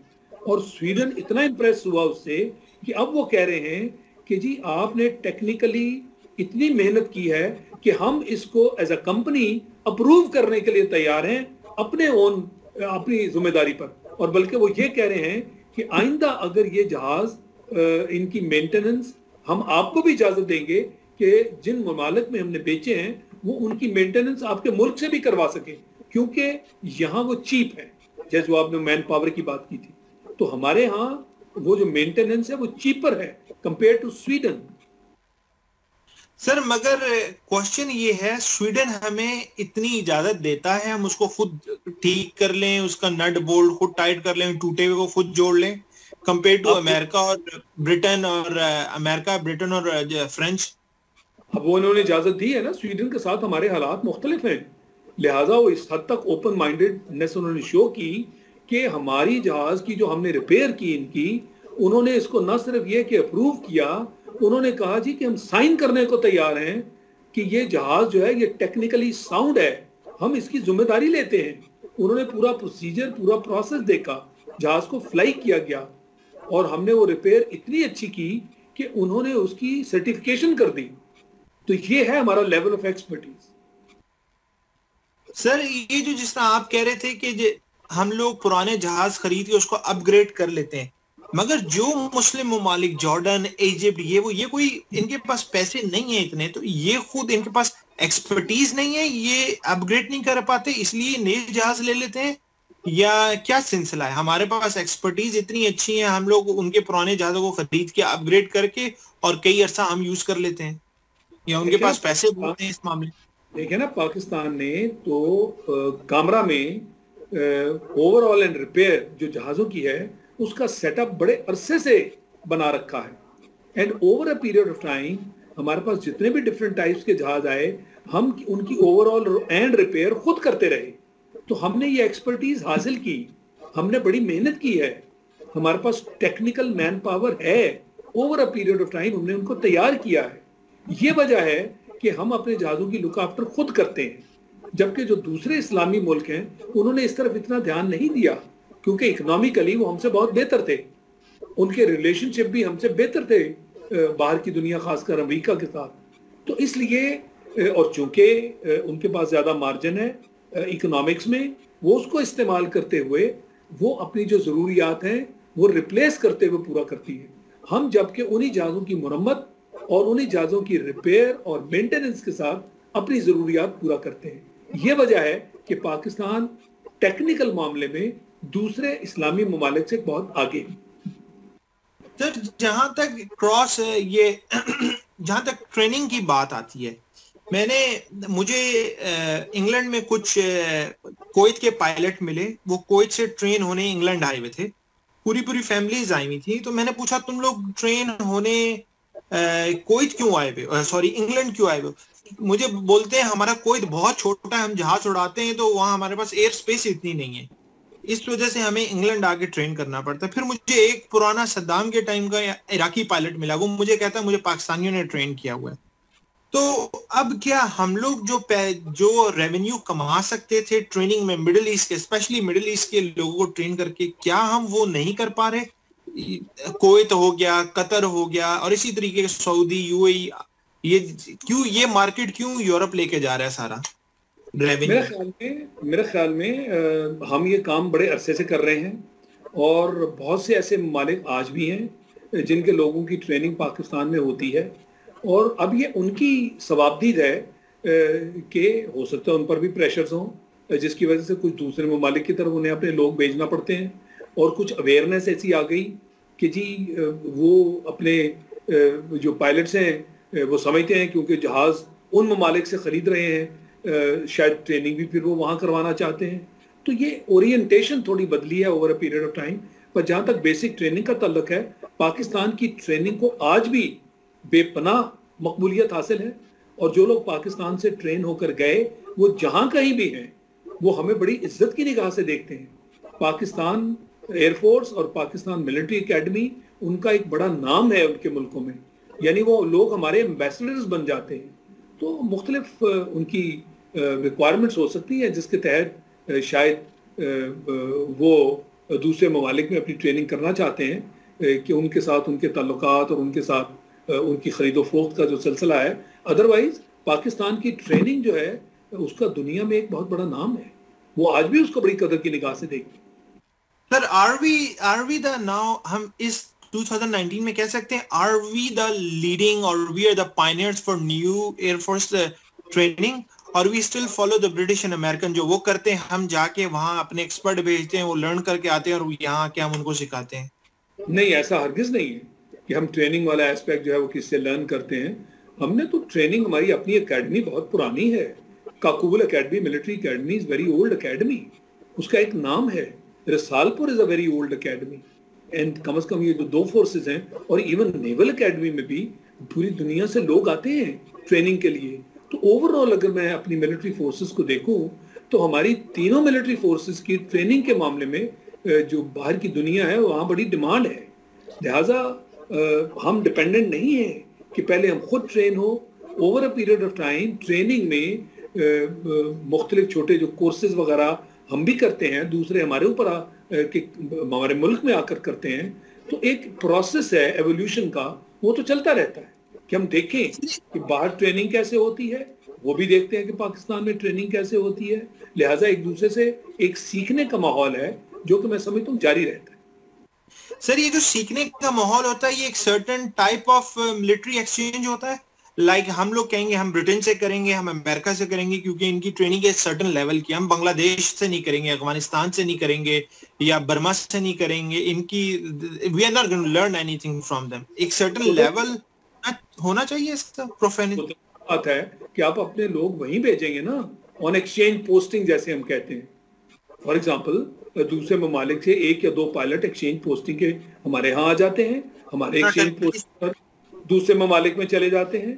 सो so, ऑब्वियसली हम वहाँ जाएँगे जहाँ हमारे पास सीखने को को बेहतर या यहाँ से को बेहतर चीज़ नज़र आए। यानी फॉरवर्ड लुकिंग जो मिलिट्री है हम उसकी तरफ़ जाकर कुछ मजीद सीखना चाहेंगे। और इसी तरह वो लोग पाकिस्तान की तरफ़ इसलिए आते हैं कि एक नाम है हमारी ट्रेनिंग का।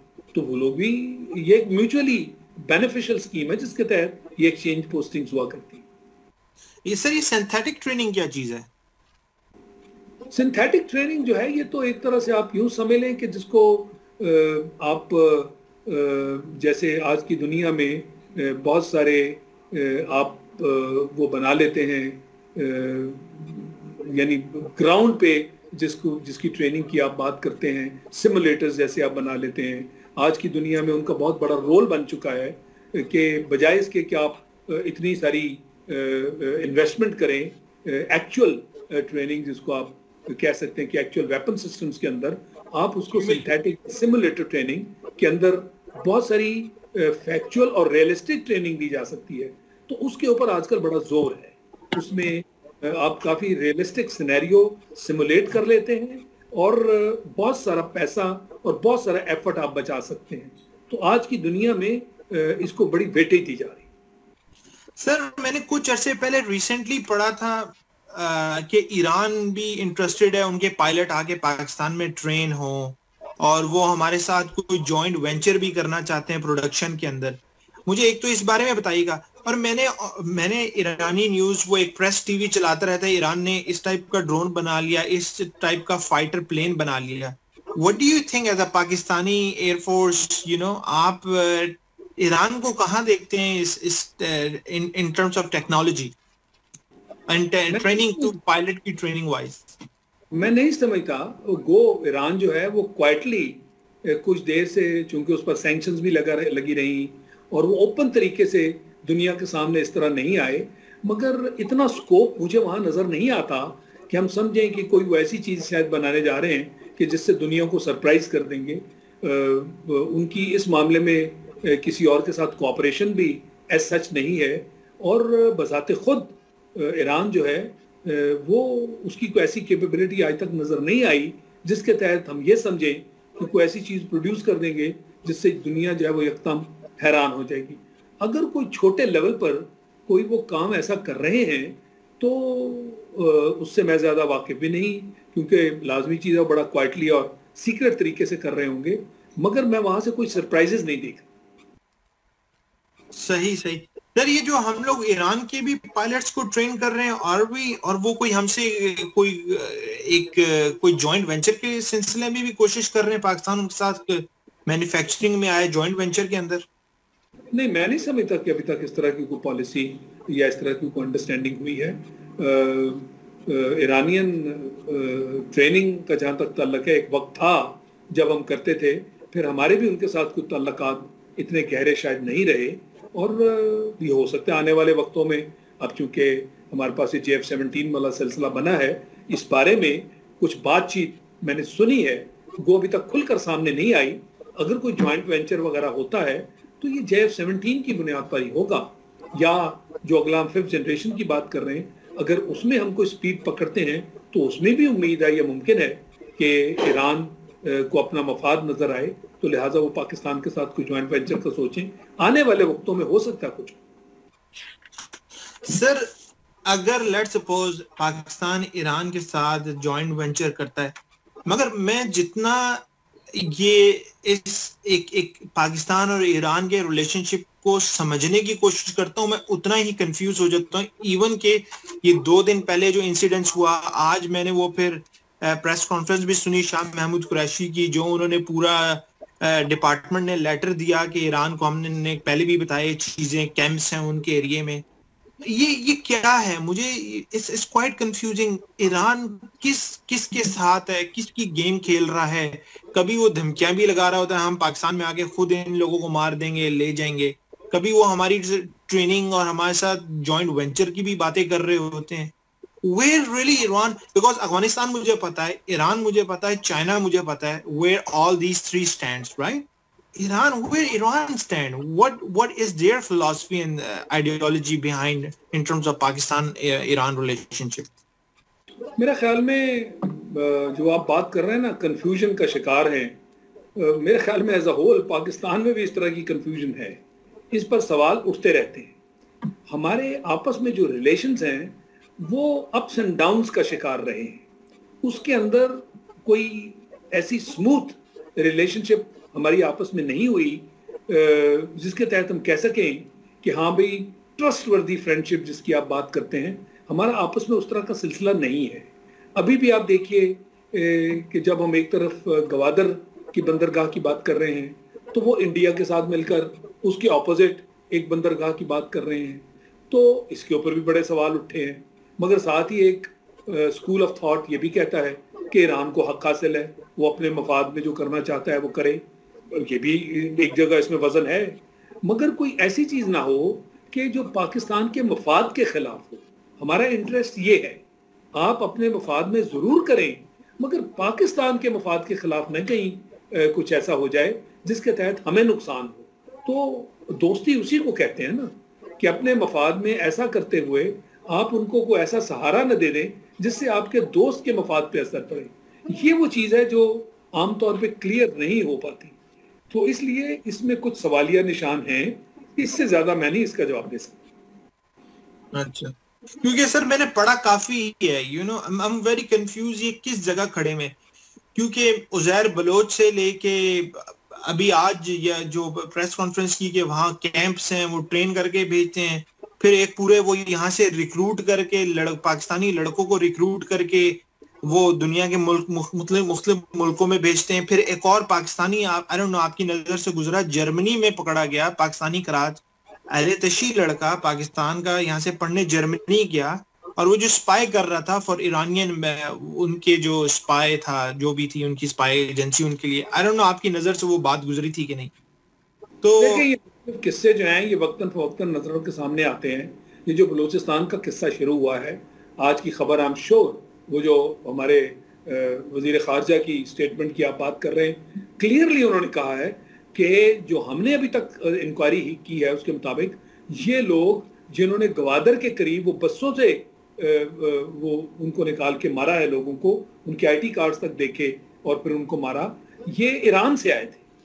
तो इस तरह की खबरें बहुत ही खतरनाक खबरें हैं। अब अगर आपकी तरह कैंप है ट्रेनिंग कैंप है इनको पूरी ट्रेनिंग कैंप हो रहा है तो ये कोई अच्छा इससे असर नहीं पड़ता। यही मैं बात कर रहा हूँ कि सवालिया निशानात हैं। हम दोनों मुल्क चूँकि हमसाया मुल्क हैं और हमसायों में ऐसी गलत फहमियाँ नहीं होनी चाहिए। और अगर वाकई इनमें कुछ सच है तो फिर तो और भी खतरनाक है। लिहाजा पाकिस्तान ईरान को आपस में बातचीत करते हुए इन चीज़ों को इन गलत फहमियों को इन अंदेशों को दूर करने की ज़रूरत है। अगर वाकई हम चाहते हैं कि हम अच्छे दोस्त बन के आगे चलें तो फिर हमें ये चीज़ें दूर करना होगी। इसके अलावा हम हम दुआ करते हैं कि कि ये चीज़ें बेहतर हो बिकॉज़ मैं जब से मैंने जब से आँख खोली है मैंने इन चीज़ों को बेहतर होते नहीं देखा टू बी वेरी ऑनेस्ट और और मैं मुझे एक चीज़ बहुत बहुत ज़्यादा बॉदर करती है। लेट सपोज़ मैं किसी कंट्री को समझता हूँ कि वो हमारी नेबरिंग फ्रेंडली कंट्री है, मगर मिसकंसेप्शन पैदा हो गई हैं। मगर अगर मिसकंसेप्शन पैदा भी हुई है तो how can you can threat the जिसको हम कहते हैं फ्रेंडली कंट्री ईरानी, ईरानियंस तो डायरेक्टली थ्रेट कर, आपको पता है, आपने सुनी होंगी पिछले जब उनके वो चौदह लोग अगवा होके यहाँ आ गए थे, वो तो डायरेक्ट थ्रेट कर रहे थे। मैंने कहा फ्रेंडली कंट्री कभी थ्रेट नहीं करता। वो तो नेगोशिएट करता है, बात करता है, आगे try to sort out diplomatic level पे थ्रेट्स जब आ रही थी तो that was quite shame for me you know I agree with you कि दोस्त ममालिक हैं, वो धमकियाँ नहीं दिया करते। दोस्त ममालिक एमिकेबली फ्रेंडली एनवायरनमेंट में अगर कोई ऐसे मामला पैदा हुए हैं तो उनको हल करने के लिए आपस में बातचीत किया करते हैं। वो धमकियों की सूरत में बात नहीं हुआ करती। यही वो चीज़ें हैं जिसके तहत हम कहते हैं कि हमारी रिलेशंस आपस में स्मूथ नहीं रही। वो हमारे आपस में एक दूसरे के जो बड़े उहदों पर फाइज लोग हैं, मिलते हैं, दोस्ती का इजहार करते हैं अच्छे अच्छे पैगाम आते हैं, मगर प्रैक्टिकली वो उस तरह की जो आपके एहसास हैं, उसमें वो ट्रांसलेट नहीं हो पाते। लिहाजा हमें आपस में एक दूसरे के साथ बहुत सारी अंडरस्टैंडिंग क्रिएट करने की ज़रूरत है, जो कि इस वक्त नहीं पाई जाती। सर डू यू थिंक कि जिस तरह एक फैमिली में फादर फिगर होता है, जिस तरह दादाजी होते हैं नाना जी होते हैं, जो एक न्यूक्लियस का काम करते हैं फैमिली को जोड़ के रखते हैं फैमिली पूरी उनके गिल्द रिवॉल्व अराउंड करती है, उनको हम बड़ा समझते हैं। इसी तरह ग्लोबल सिनेरियो में जो मैं जिसको कहूँ इंडस्ट्रियलाइज वर्ल्ड कहूँ में अमेरिका जो है, वो फादर फिगर है, जहाँ पे पूरा यूरोपियन और वेस्ट घूमता है, जिनके इर्द गिर्द घूम रहा होता है। जो वो कहते हैं, वो उसी नैरेटिव को, उसी लाइन को फॉलो करते हैं। और इसी में जिस तरह जिस तरह अभी ये जो था अमेरिकन जो मुझे उसका नाम भूल गया मिनिस्टर थे वो कह रहे थे, अगर तो टेक्नोलॉजी हम ईस्ट से लेना शुरू कर देंगे, और ईस्ट की कंपनी वो चाइनीज़ एक टेक कंपनी की बात कर रहे थे। ईस्ट से यहाँ आना शुरू हो जाएगी तो ये हमारी सिक्योरिटी को बहुत बड़ा वेस्ट की उन्होंने कहा वेस्ट की सिक्योरिटी को बहुत बड़ा थ्रेट होगा ये।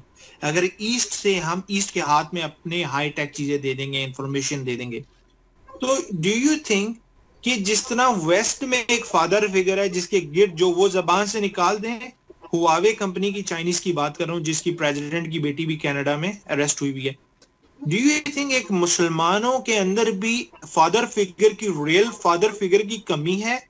जिस जिस, जिसकी वजह से हमारे अंदर वो न्यूक्लियस पैदा ही नहीं हुआ जो हमें जोड़ के रख सके, ताकि हम एक दूसरे के मफादात की केयर कर सकते हैं जिस तरह पूरी यूरोपीय यूनियन करती है।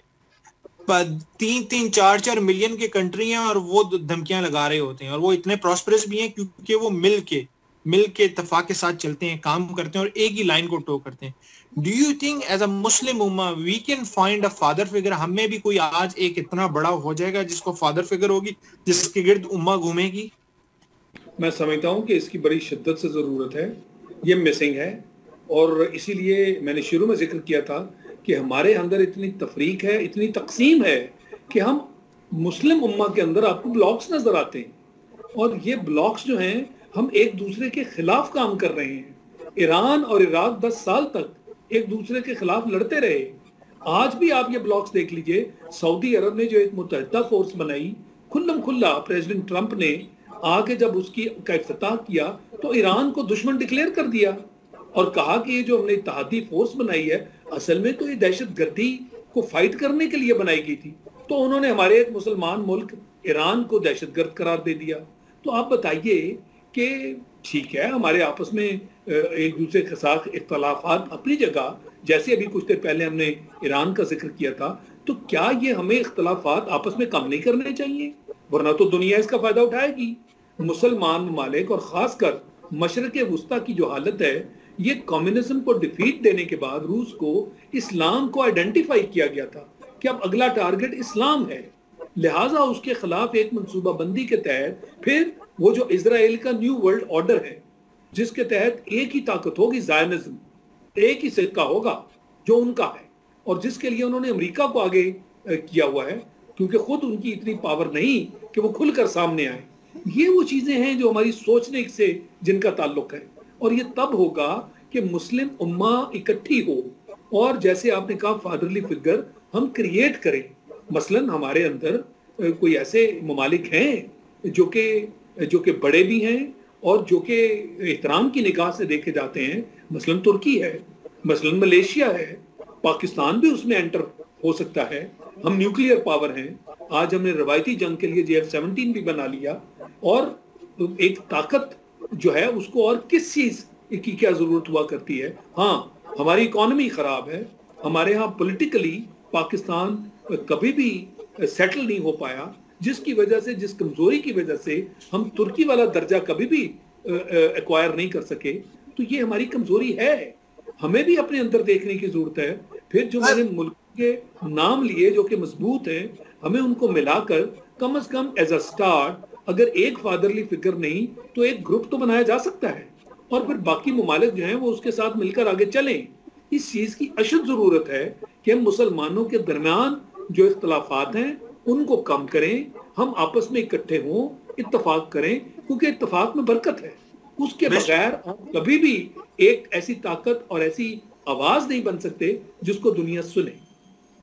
सर मैं पॉलिटिक्स पाकिस्तान की इंटरनल पॉलिटिक्स पे मुझे पता है आप एक अब एनालिस्ट भी हैं और टीवी पे काफ़ी आके बात करते हैं। उसके ऊपर मैं बात करूँगा। मुझे एक चीज़ बताएगा जो रिडार होता है जब भी रिडार के ऊपर कोई हमारा एनिमी का जहाज़ शो अप होता है वो एक हमें एक, एक सर्टन सिग्नेचर देता है इस जहाज़ का, ये मेग आ रहा है, ये एफ़ सिक्सटीन आ रहा है, ये एफ़ जे एफ़ सेवनटीन आ रहा है। इज़ इट ट्रू हाँ आज के ज़माने में जो मुख्तलिफ़ जहाज़ हैं, उनके सिग्नेचर्स की वजह से ये पहचाना जा सकता है कि आप किस जहाज़ को देख रहे हैं। और इसी तरह जो वेपन्स हैं, एक वेपन वार्निंग सिस्टम जो आपका होता है थ्रेट वार्निंग सिस्टम उसके अंदर भी जब आपको ट्रैक किया जाता है तो आपको ये भी पता चल जाता है कि कौन सा वेपन जो है वो आपको इस वक्त ट्रैक कर रहा है। तो आज की टेक्नोलॉजी में ये सारी चीज़ें पॉसिबल हैं। तो इसका मतलब है इंडिया चाहे एफ़ सिक्सटीन कहता रहे इसका मतलब है India knows with the signature of JF seventeen को जेएफ सेवनटीन था।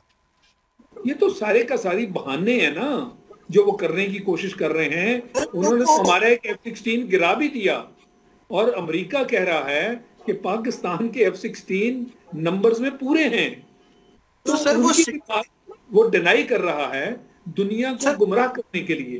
क्वेश्चन ये है कि हम लोगों ने हमारी तरफ़ से ये क्वेश्चन क्यों नहीं रेस किया गया? अगर तो आप सच कह रहे हैं तो आप सिग्नेचर रिलीज़ कर दें। एविडेंस के तौर पे रिडार पे सिग्नेचर आए होंगे ना। सिग्नल सिग्नेचर आएगा वो आप ऐसा प्रूफ रिलीज़ करें कि एफ़ सिक्सटीन का सिग्नेचर सिग्नल सिग्नेचर आया होगा तो वो आप रिलीज़ कर दें। इज़ इट ट्रू और नॉट सर नहीं पर वो तो कोई भी चीज़ रिलीज़ करने को तैयार नहीं। सिग्नेचर तो बहुत दूर की बात है। तो मलबा दिखा दे। ये हम हम कर सकते है। कोई एक हमारा पायलट जो है उसको दिखा दें मलबा दिखा दें। हमने तो उनका जो जहाज़ गिराया था जो जिसका हमने जिसका पायलट भी हमने गिरफ़्तार कर लिया पूरी दुनिया को दिखाया और वो जहाज़ सू थर्टी जो उनके इलाके में गिरा वो क्रैश हो गया। पायलट भी क्रैश कर गया ऑब्वियसली वो हम नहीं दिखा पाए, पर पूरी दुनिया ने एक्सेप्ट किया। हमने तो खुल्लम खुल्ला हर चीज़ दिखा दी। जब आपके पास सबूत भी हो, चूँकि उनके पास कोई सबूत नहीं है, और सबसे बड़ी बात कि अमेरिका खुद कह रहा है, हालाँकि अमेरिका तो उनकी पुष्पनाही करता है।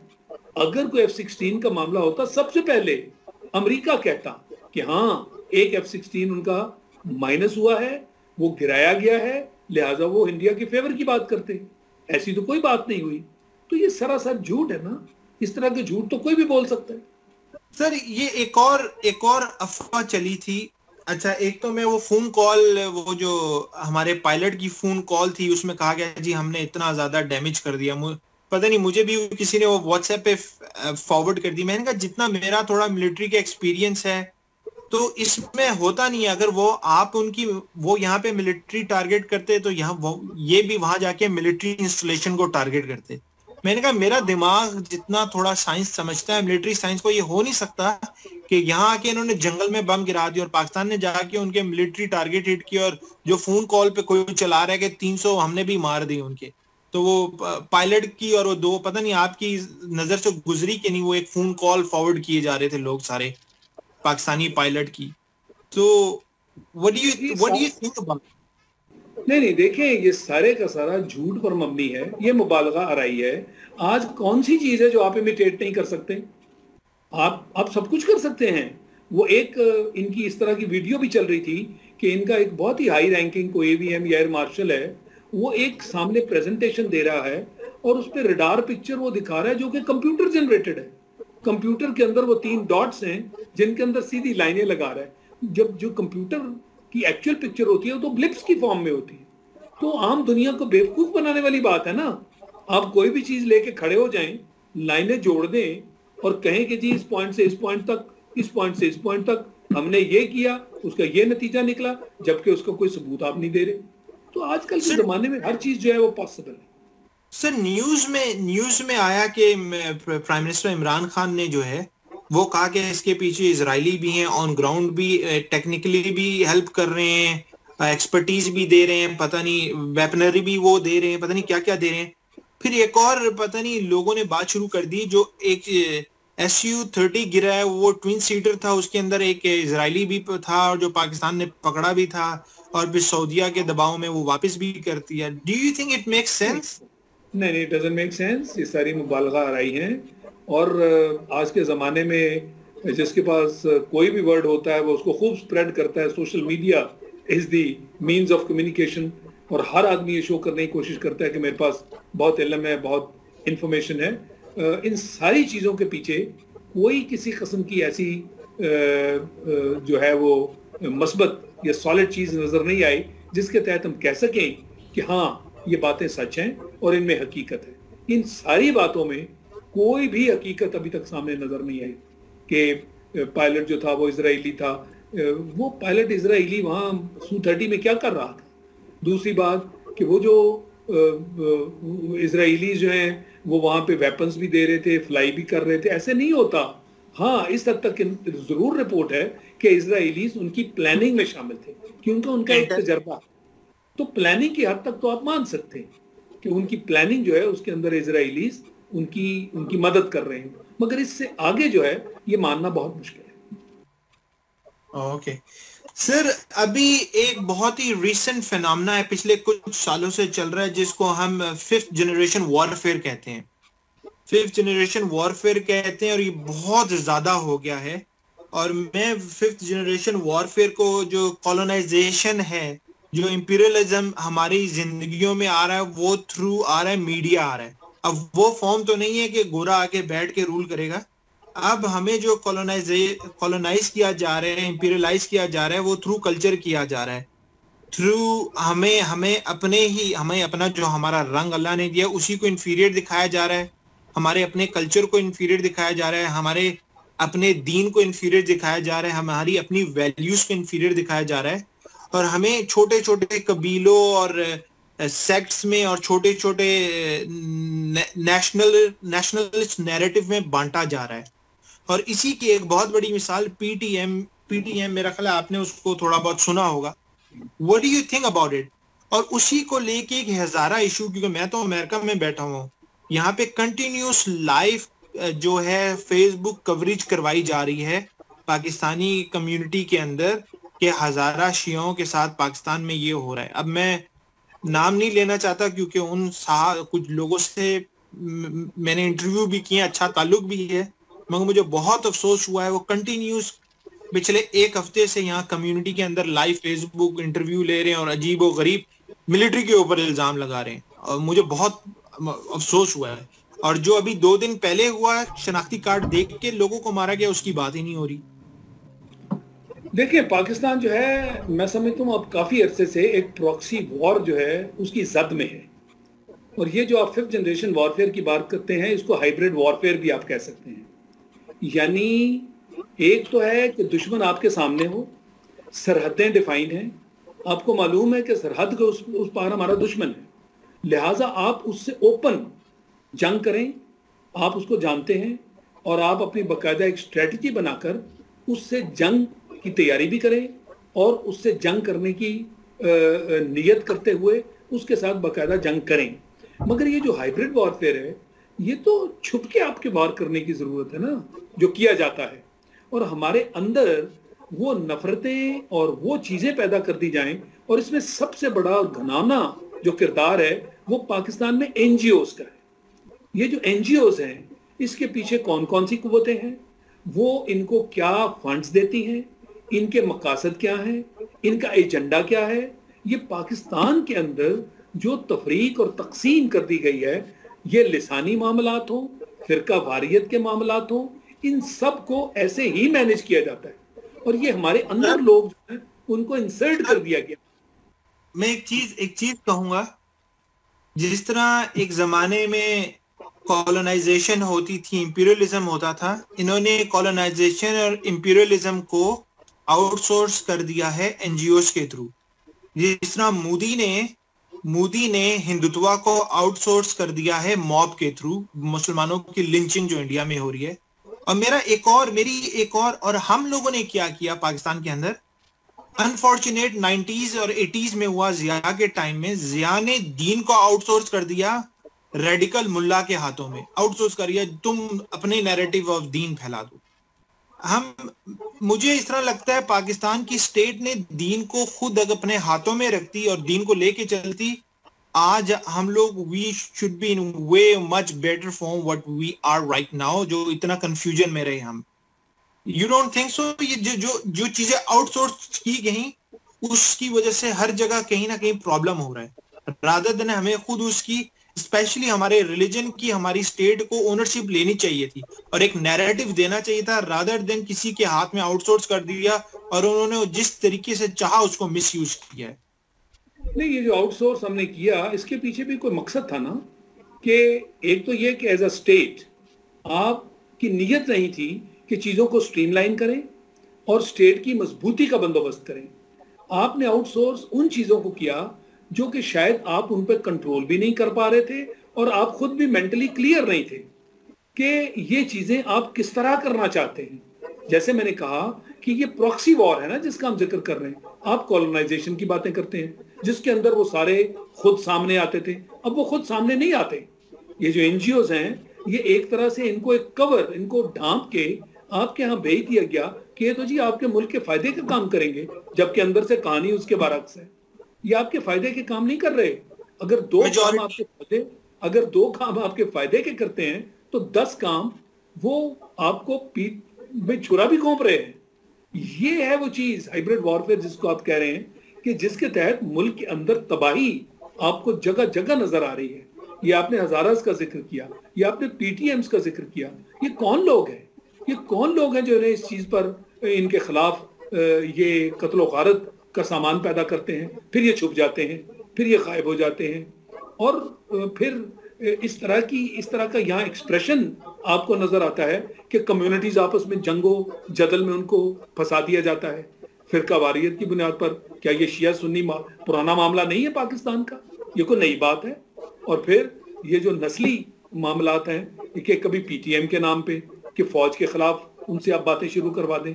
और जब मर्जर की बात आती है तो पीटीएम के जितने बहुत बड़े मद्दा हैं, वो उनके मर्जर के खिलाफ बात करते हैं। उसके अंदर आपको एक तजाद नज़र आना शुरू हो जाता है। तो इससे ज़ाहिर क्या हुआ कि उनके जो मकासद हैं, वो कोई ऐसे शॉर्ट टर्म हैं और जिनको बना दिया गया है, कोई जो शॉर्ट टर्म इंटरेस्ट हैं, उनको पूरा करने के लिए। ये कोई जेनुआइन नहीं है। हजारास को बार बार आप इस तरह उनकी कत्लो गारत की जाती है। और वो शरीफ लोग हैं, सादे लोग हैं, और उनको बार बार निशाना बना दिया जाता है। तो ये कौन लोग हैं जो ऐसा करते हैं? और फिर उन्हीं को जाके बताया जाता है कि देखो, तुम्हारी तो नस्ल खुशी हो रही है। जो लोग उनकी तबाही करते हैं, वही अंदर से उनकी हमदर्दी करने भी पहुँच जाते हैं। पीटीएम का भी यही हाल है। जो उन्हें ये इस बात पर आमादा करते हैं कि आपके खिलाफ काम हो रहा है, जब मर्जर की बात आती है तो वो उसके खिलाफ वोट दे देते हैं। कि हम तो नहीं चाहते। सर मुझे एक चीज़ समझ नहीं आती। आप पाकिस्तान बैठे आप मुझे अच्छा समझा सकते हैं। जो हमारे मुल्क का लिबरल जिसको मैं सो सूडो लिबरल कहूँ सो कॉल्ड लिबरल कहूँ और वो लिबरल एक लेट सपोज़ एक लिबरल सो कॉल्ड जो पाकिस्तान के अंदर बैठा हुआ है और एक बहुत बड़े हैं जो मुल्क से भागे हुए हैं। इधर उधर दूसरे मुल्कों के कैपिटल्स में बैठे हैं आप जानते हैं। वहाँ से ट्वीट्स कर रहे होते हैं बैठ के। तो एक तो वो है। और फिर हमारे जो नीचे कुछ स्पेसिफिकली दो मेन पॉलिटिकल पार्टीज़ के लोग हैं, इनका आजकल आप पढ़े नैरेटिव कितना एक मिलता जुलता और एक दूसरे की ट्वीट्स को रीट्वीट भी कर रहे होते हैं ये। एक दूसरे के लिए हिमायत में ट्वीट्स भी कर रहे हैं इंटरव्यूज़ भी दे रहे हैं, एक दूसरे के नैरेटिव को प्रोपोगेट भी कर रहे हैं। हमारी दो मेन पॉलिटिकल पार्टीज़ जो आजकल करप्शन की जद में नाम उन, आप जानते हैं।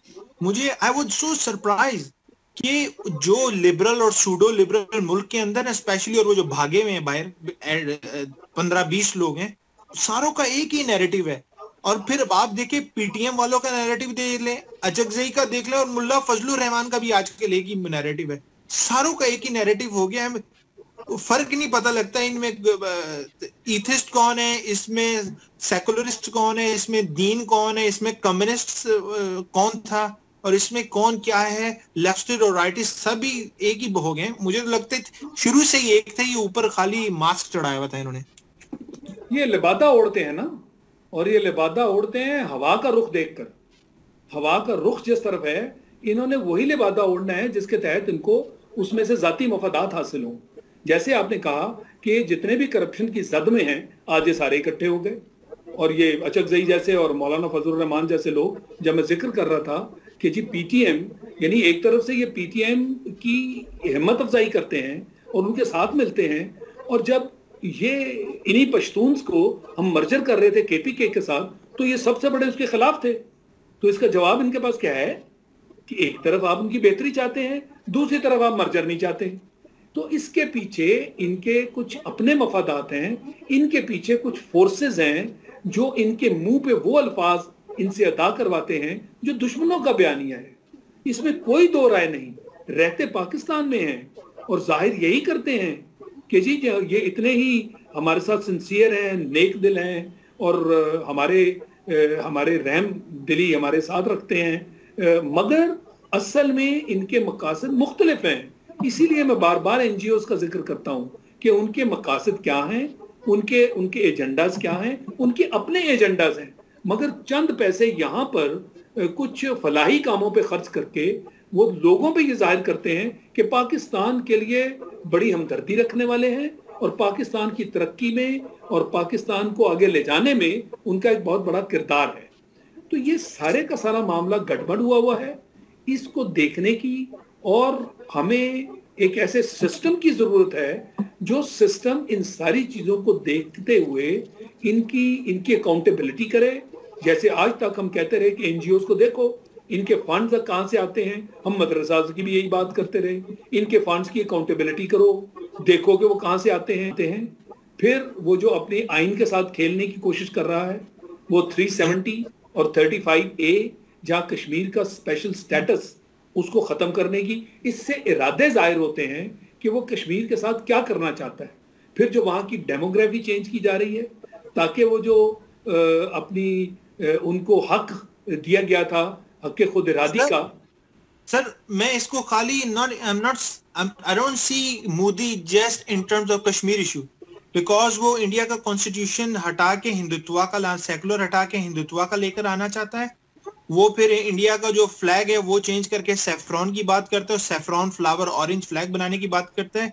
And and what not you know इस पूरी तो what do you think because मुझे पता है कि Modi don't only think about Kashmir Modi talk about वो कहता है मैं इंडिया को global domination Hindu Hindutva global domination की बात करते हैं वो। ये exactly do you see a conflict या do you see a conflict the future okay उसकी एग्जैक्टली exactly वही अप्रोच है जो कि जायनिज्म की अप्रोच है जो कि इसराइल की अप्रोच है।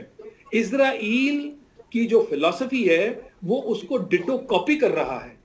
यानी सर वो जो आइडियल है सो सो उसका इरादा एग्जैक्टली exactly वही है कि ये जब यहूदी शुरू हुए थे फलस्तीन में आप पुराने नक्शे निकालें तो एक डॉट था। आज वो फलस्तीनी एक डॉट बन गए और उनको वो वेस्टर्न साइड पे पुश करके उन्होंने इतना उनको स्क्वीज कर दिया कि पूरे फलस्तीन में यहूदी फैल गए और जो मुसलमान हैं, जो फलस्तीनी हैं, वो एक डॉट की सूरत इख्तियार कर गए।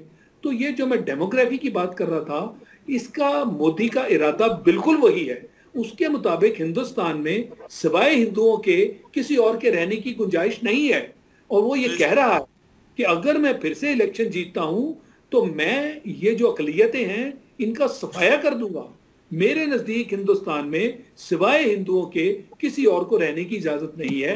इसीलिए मैंने कहा कि ये एक बहुत ही खतरनाक सिचुएशन है जो डेवलप होने जा रही है। सर हज़रत वासिफ अली वासिफ फरमाते हैं अगर आपको कभी मौका मिला हो वासिफ अली वासिफ को पढ़ने का वो फरमाते हैं पाकिस्तान एक नूर है और नूर को जवाल नहीं। वो do you think do you see Pakistan in the future as a global power in next 20 years it depends कि पाकिस्तान अपना किबला पहले खुद दुरुस्त करता है या नहीं? हमें लीडरशिप वो मिलती है जो हमें कम अज कम हमारी सिमत बदलते हुए, क्योंकि इस वक्त जहाँ हम हैं, ये सारी दास्तान जवाल की दास्तान है। हम कोई तरक्की पजीर मुल्क नहीं है। कहने को हम तरक्की पजीर मुल्कों में खुद को शामिल करते हैं, मगर सत्तर साल दास्तान एक जवाल की दास्तान है। पाकिस्तान जो है, वो जो कायद ने सोचा था हमने कभी उस सफ़र शुरू ही नहीं किया। लिहाजा और क्राइसिस क्या है? लीडरशिप पाकिस्तान के लोग खराब नहीं हैं। आज भी यहाँ जलजला आ जाए कोई तूफ़ान आ जाए कोई बड़ी किसी किस्म की मुश्किल पेश हो तो लोग सीना तान के बाहर निकलते हैं। एक दूसरे की मदद को जान देने के लिए तैयार हो जाते हैं। ये है पाकिस्तानी। मगर इसमें एक छोटा सा जो एलिमेंट है जो बिल्कुल वो जो ब्रिटिशर्स जिनको छोड़ गए और उनको हमारे ऊपर मुसलत कर गए अशराफिया जिसको आप कहते हैं ये एक परसेंट से भी ज़्यादा नहीं है। मगर इस एक परसेंट ने पाकिस्तान का बेड़ा गर्क कर रखा है। जब तक हम अपना किबला दुरुस्त नहीं करते हमारी लीडरशिप ठीक नहीं होती हमारी आखिरी उम्मीद बिल्कुल इमरान खान पे थी मगर जो कुछ हो रहा है वो भी आप देख रहे हैं। क्या इनको कामयाब नहीं होने दिया जा रहा? क्या इनके अंदर ऐसा रुझान है जिसके तहत ये आपस में बटे हुए हैं ऑर्गेनाइज नहीं हो पा रहे। मिलकर ये एक ऐसी सिचुएशन इनकी टीम उस तरह बनकर सामने नहीं आ पा रही, जिससे हम तो रख सकें। इनकी भी जो भी आठ महीने गुजरे हैं, उसमें कोई खास उम्मीद नज़र नहीं आ रही। तो बहुत बड़ा हमारे यहाँ इसका एक क्राइसिस है जो लीडरशिप का कंटिन्यू कर रहा है। और मैं सोच के भी मेरी जो है, सोच जो है वो खत्म हो जाती है कि इमरान खान अगर कामयाब नहीं होता तो फिर हम हमारे सामने अब क्या है? क्या फिर से मेरी बारी तेरी बारी की तरफ़ हम जाएँगे? बहुत ही खतरनाक मामला लेट मी लेट मी से समथिंग हियर एक 1865 की जंग आज़ादी के बाद जहाँ मुसलमान बहुत अनसर्टन था अल्लाह ने उस जमाने से भी निकाला। उन्नीस में जब लगता नहीं था मुल्क नहीं बनेगा उस टाइम भी उस जमाने से भी निकाल लिया। तो मुझे, क्योंकि कहते हैं कि अल्लाह नियत वालों के साथ है leader is always certain in a very uncertain condition क्योंकि अल्लाह नियत साफ़ होती है ना, वो कहते हैं नियत साफ़ हो, अल्लाह गलत फैसलों में भी बरकत डाल देता है, अल्लाह नुकसान में भी नफा डाल देता है, यकीन अल्लाह की जात पे। मुझे इस पे तो कोई डाउट नहीं है। As long Imran Khan has नेक नीयत लोगों के लिए करना है, मुल्क के लिए करना है चाहे नीचे जो मर्ज़ी हो जाए, एक प्लान अल्लाह का है और एक प्लान हमारा होना वही है जो अल्लाह ने चाहना है। We all know this you know और जब तक वो बंदा अपनी नेक नियति के साथ खड़ा रहा nothing nothing no one can do anything you know चाहे आपको रोज नज़र आएगा, दस आएँगे, दस जाएँगे एज लॉन्ग एज वो बंदा नेक नियति के साथ खड़ा, मखलूक की खिदमत और अल्लाह की रजा के लिए मैं करके जाऊँगा करके जाऊँगा।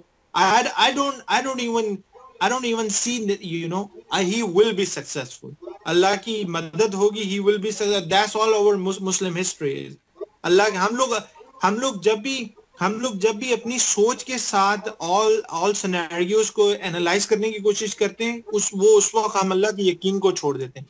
तो I am very I am very hopeful कि अगर तो वो उस यकीन के साथ खड़ा रहा तो ही शुड बी सक्सेसफुल और we all will be successful इंशाल्लाह।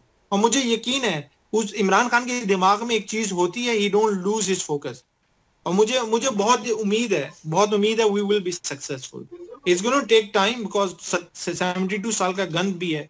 तो बट सर लास्ट थिंग मुझे बताइएगा कि जो अभी so called I don't know मैं कल पढ़ा था, एक प्रेसिडेंशियल फॉर्म ऑफ़ सिस्टम आ गया. What do you think about it all technocrats are there now देखें, ये तो बिल्कुल हम उस तरफ़ मूव कर रहे हैं. यानी आपने अब ये तकरीबन साबित कर दिया कि आपको ना पार्टी से कोई आदमी उसकी ज़रूरत महसूस हो रही है, ना आप जो है वो किसी पॉलिटिशियन की तरफ़ मजीद देख रहे हैं कि वहाँ पे एक बहरान है इन चीज़ों का तो आप टेक्नोक्रेट्स की तरफ़ देख रहे हैं, आपने काम लेना है ना तो वो आदमी जो है अगर टेक्नोक्रेट्स की तरफ़ आप देख रहे हैं तो फिर तो कुदरती बात आप प्रेसिडेंशियल सिस्टम की तरफ़ चल रहे हैं, क्योंकि पार्लियामेंट ही की तरफ़ आप नहीं देख रहे कि जो लोग इलेक्ट होके आए मिनिस्टर वहीं से होंगे, वहाँ तो आपको स्पेशलिस्ट सच नज़र नहीं आ रहे। अभी तक कोई तजर्बा अच्छा नहीं रहा। तो ये जो प्रेसिडेंशियल सिस्टम है, इस पर डिबेट खुले तरीके से होनी चाहिए। आपको देखना चाहिए। After all the only super power जहाँ आप बैठे हुए हैं, क्या वो प्रेसिडेंशियल सिस्टम पे नहीं चल रही? आप सिस्टम को बुरा नहीं कह सकते किसी को भी। It is how you run a system मतलब आप, आप देखिए यूके में पार्लियामेंट्री सिस्टम है और वहाँ पे भी पार्लियामेंट्री सिस्टम है ब्रेक्सिट के ऊपर जो आपने ले दे देखी। मगर कामयाब तो वो भी है। सर डॉक्टर इसरार अहमद के बकौल भी presidential system is way more closer to the Islamic system sir मगर मुझे एक बात बताएगा जितने आपके टॉप के एनालिस्ट टीवी पे बैठे हुए हैं चले नीचे लोकल ग्रास रूट लेवल पे लोग कहते हैं प्रेसिडेंशियल सिस्टम उनको क्या मसला है? वो क्यों सारे प्रेसिडेंशियल सिस्टम के अगेंस्ट हैं? इसकी क्या लॉजिक लग रही है आपको? जो भी टीवी चैनल उठा के देख लें, सिवाय एक आधे के, जो भी आपके सो कॉल्ड अब मैं क्या बोलूँ, जितने भी टॉप के जर्नलिस्ट जिसको हम कहते हैं बड़े बड़े टीवी चैनल्स पे, और ट्वीट्स हो फेसबुक हो, उनके चैनल्स हो पूरे पूरे प्रोग्राम कर रहे हैं और ऐसी ऐसी मंतक लेकर आ रहे हैं कि अयूब ने ये किया तो मुशरफ ने ये किया। दो हमारा अयूब और मुशरफ के टाइम में वैसे इकोनॉमिकली कंट्री बहुत बेटर था। ऑफ़ कोर्स बेटर था मगर वो टिपिकल प्रेसिडेंशियल सिस्टम हम उसको इसलिए नहीं कह सकते कि हमने एक्चुअली वो तो एक मार्शल लॉ का जमाना था वो एक डिक्टेटर का जमाना था। उसने खुद को ऐसी पावर्स दे, दे रखी थी वो कोई सिस्टम स्ट्रीमलाइन नहीं हुआ था। अगर आपने प्रेसिडेंशियल सिस्टम की तरफ़ जाना है तो फिर उसके मुताबिक आप एक सिस्टम इवॉल्व करें। वो कोई इस तरह का सिस्टम नहीं था। लिहाजा उसकी मिसाल मैं देना भी नहीं चाहता। और ये जो तनकीद बराए, तनकीद कर रहे हैं, क्योंकि इनको स्कोप पार्लियामेंट्री सिस्टम में नज़र आता है। पार्लियामेंट्री सिस्टम जिसमें प्राइम मिनिस्टर को हाईजैक किया जाता है और फिर अपनी कीमत लगाई जाती है। प्राइम मिनिस्टर जो है, वो यरकमाल हो जाता है और फिर वही बात कि जिनका काम कानून साजी है, उनको तरक्याती फंड दे दिए जाते हैं। और वो जो बल्दियाती निज़ाम है, उसको फेल कर दिया जाता है। क्या ऐसे भी कभी निज़ाम चलते हैं? उनको वहाँ स्कोप ज़्यादा नज़र आता है करप्शन का। लिहाजा वो सिस्टम की आज भी उसकी सपोर्ट कर रहे हैं। ये वो वजह है। किसी ने प्रेसिडेंशियल सिस्टम के बारे में ऐसा न पढ़ा है, न इस पर डिबेट हुई है। लिहाजा उसके उसके जो फ़ायदे या नुकसान है, उसको डिबेट करते हुए आप अवाम को इन्वॉल्व करें ना। तो इस, कौन लोग हैं जो इसके, उनके उनके पास वक्त है कि वो डिबेट करें, इस पर पढ़ें, और दुनिया में जो मॉडल्स चल रहे हैं, उनकी मदद से कौम को कन्विंस करने की हम कोशिश करें कि कौन सा सिस्टम बेहतर है। अगर प्रेसिडेंशियल सिस्टम बेहतर है तो देखने में वहाँ सेनेट को पावर दी जाती है। और जो लोग हैं, वो आप कहीं से भी पिक कर लें और उनको लाके जो स्पेशलिस्ट हैं best man right man for the right job वो प्रेसिडेंशियल सिस्टम आपको चीज़ के उसको अलाउ करता है। वहाँ डायरेक्ट इलेक्शन के तहत आप लोग चुनते हैं। प्रेसिडेंट डायरेक्ट इलेक्शन के तहत आता है। वो यरगमाल नहीं बनता जो असेंबली में लोग हैं उनके उनके सामने। तो मैं समझता हूँ कि उसमें फवायद हैं उसको डिबेट होना चाहिए। जो पाकिस्तान के लिए बेस्ट है उसको अडॉप्ट किया जाए। जिस तरह का पार्लियामेंट्री निज़ाम हमने चला रखा है उसने हमें फ़ायदे नहीं दिए। उसने करप्शन को भरपूर तरीके से सपोर्ट किया है। लिहाजा उसमें पाकिस्तान जो है ओवरऑल एज अ होल को तरक्की की राह पर नहीं चल सका तो इस सिस्टम को डिबेट किया जाना चाहिए। सर डू यू थिंक जो हमारा मीडिया है इंफोटेनमेंट मीडिया हो आ, हमारा न्यूज़ मीडिया हो हमारा इंटरटेनमेंट मीडिया हो जो ड्रामों की फॉर्म में आ रहा है डिसकनेक्ट है लोकल ग्रास रूट लेवल पे और वो जो टीवी में दिखा रहे होते हैं। एक तो आजकल बहुत ही फैमिली एक फैमिली सिस्टम के अगेंस्ट ड्रामे हैं। सारी माँ, बहन, भाई के लड़ाई झगड़े दिखा रहे हैं, लड़की बॉयफ्रेंड के साथ भागी। एक तो इस टाइप की चीज़ें फैमिली सिस्टम को तोड़ने के लिए कंटिन्यूस ट्वेंटी फोर सेवन ये गंदगी चल रही है। यू डोंट थिंक सो ये जो मीडिया है, चाहे जिस भी टाइप का मीडिया और लोकल ग्रास रूट लेवल पे बहुत फ़र्क है। इनमें कनेक्शन ही नहीं है। वो जिस तरह मैं आपको कह रहा था, ये कॉलोनाइजेशन थ्रू मीडिया अब आउटसोर्स कर दिया। इन्होंने मीडिया के थ्रू हर चीज़ लोगों को कॉलोनाइज कर रहे हैं इंपीरियलाइज कर रहे हैं। वो आपने सही नुकता उठाया था कि this is colonisation through many forces Jin forces का आप ज़िक्र कर रहे हैं, वो मीडिया की हो, वो पॉलिटिक्स में हो, वो दीन के मामले में हो, वो जिस फॉर्म में भी आप देख रहे हैं, वो सारे के सारे आउटसोर्सिंग है। उसके अंदर ऐसे ऐसे प्लेयर्स घुसाए हैं, उनको घुसा दिया गया है, ताकि आपको मिसलीड किया जा सके। यही तो चीज़ है, जिसके तहत मुआशरा जो है तितर बितर हो रहा है। जिसके तहत हमारा जो असल जो जो जो हम हैं जिसका मैं ज़िक्र बार बार करता हूँ कि जो पाकिस्तान के अवाम हैं, उनको इतनी बुरी तरह मिसलीड किया जा रहा है कि उनको समझ नहीं आ रही। उनकी जो अपनी पहचान है, वो उसको भूल रहे हैं। जबकि आम हमारे लोग, वो एक दूसरे की हमदर्दी रखते हैं। वो एक दूसरे की खातर कुर्बानी देना जानते हैं। मगर जब नेशनल लेवल आता है तो उधर आपको नक्शा ही कुछ और नज़र आता है। जैसे आपने मीडिया की बात की, ये जो ड्रामे दिखाए जाते हैं, क्या ये पाकिस्तान है? क्या ये लोग जो है पाकिस्तान की पहचान के मुताबिक काम करते हैं? ड्रामे जो हैं उनके लेसन क्या हैं? जो हमारे लिबास हैं वो क्या हैं? जो हमारी बातचीत है वो किस रुख में इस वक्त वो जा रही है? तो ये सारी वो फोर्सेस है ना जो कि हम पर मुसलत कर दी गई हैं। यानी पाकिस्तान को कंट्रोल किया जा रहा है बाय दी फोर्सेस जो कि इनविजिबल है। मगर वो हमारे खिलाफ काम कर रही वो कोई नेशनल फोर्सेस नहीं है। सर वो इकबाल ने कहा था इकबाल से किसी ने पूछा कि इंडिया जो ब्रिटिश इंडिया था या इंडियंस उसकी सबसे मेन रीजन क्या थी उसकी डिस्ट्रक्शन की? इकबाल ने कहा था the lack of self knowledge when you have a lack of self knowledge then you are very easy to imperialise तुम्हारे यू you नो know, तुम्हारे रंग को वो जिस तरह हमारे यहाँ फेयर एंड लवली बेचते हैं कि हमारा जो ब्राउन रंग है वो वो खराब है। गोरे का रंग लगा लो तो तुम सोसाइटी में इंग्लिश बोल लो गोरे का रंग मुँह पे लगा लो।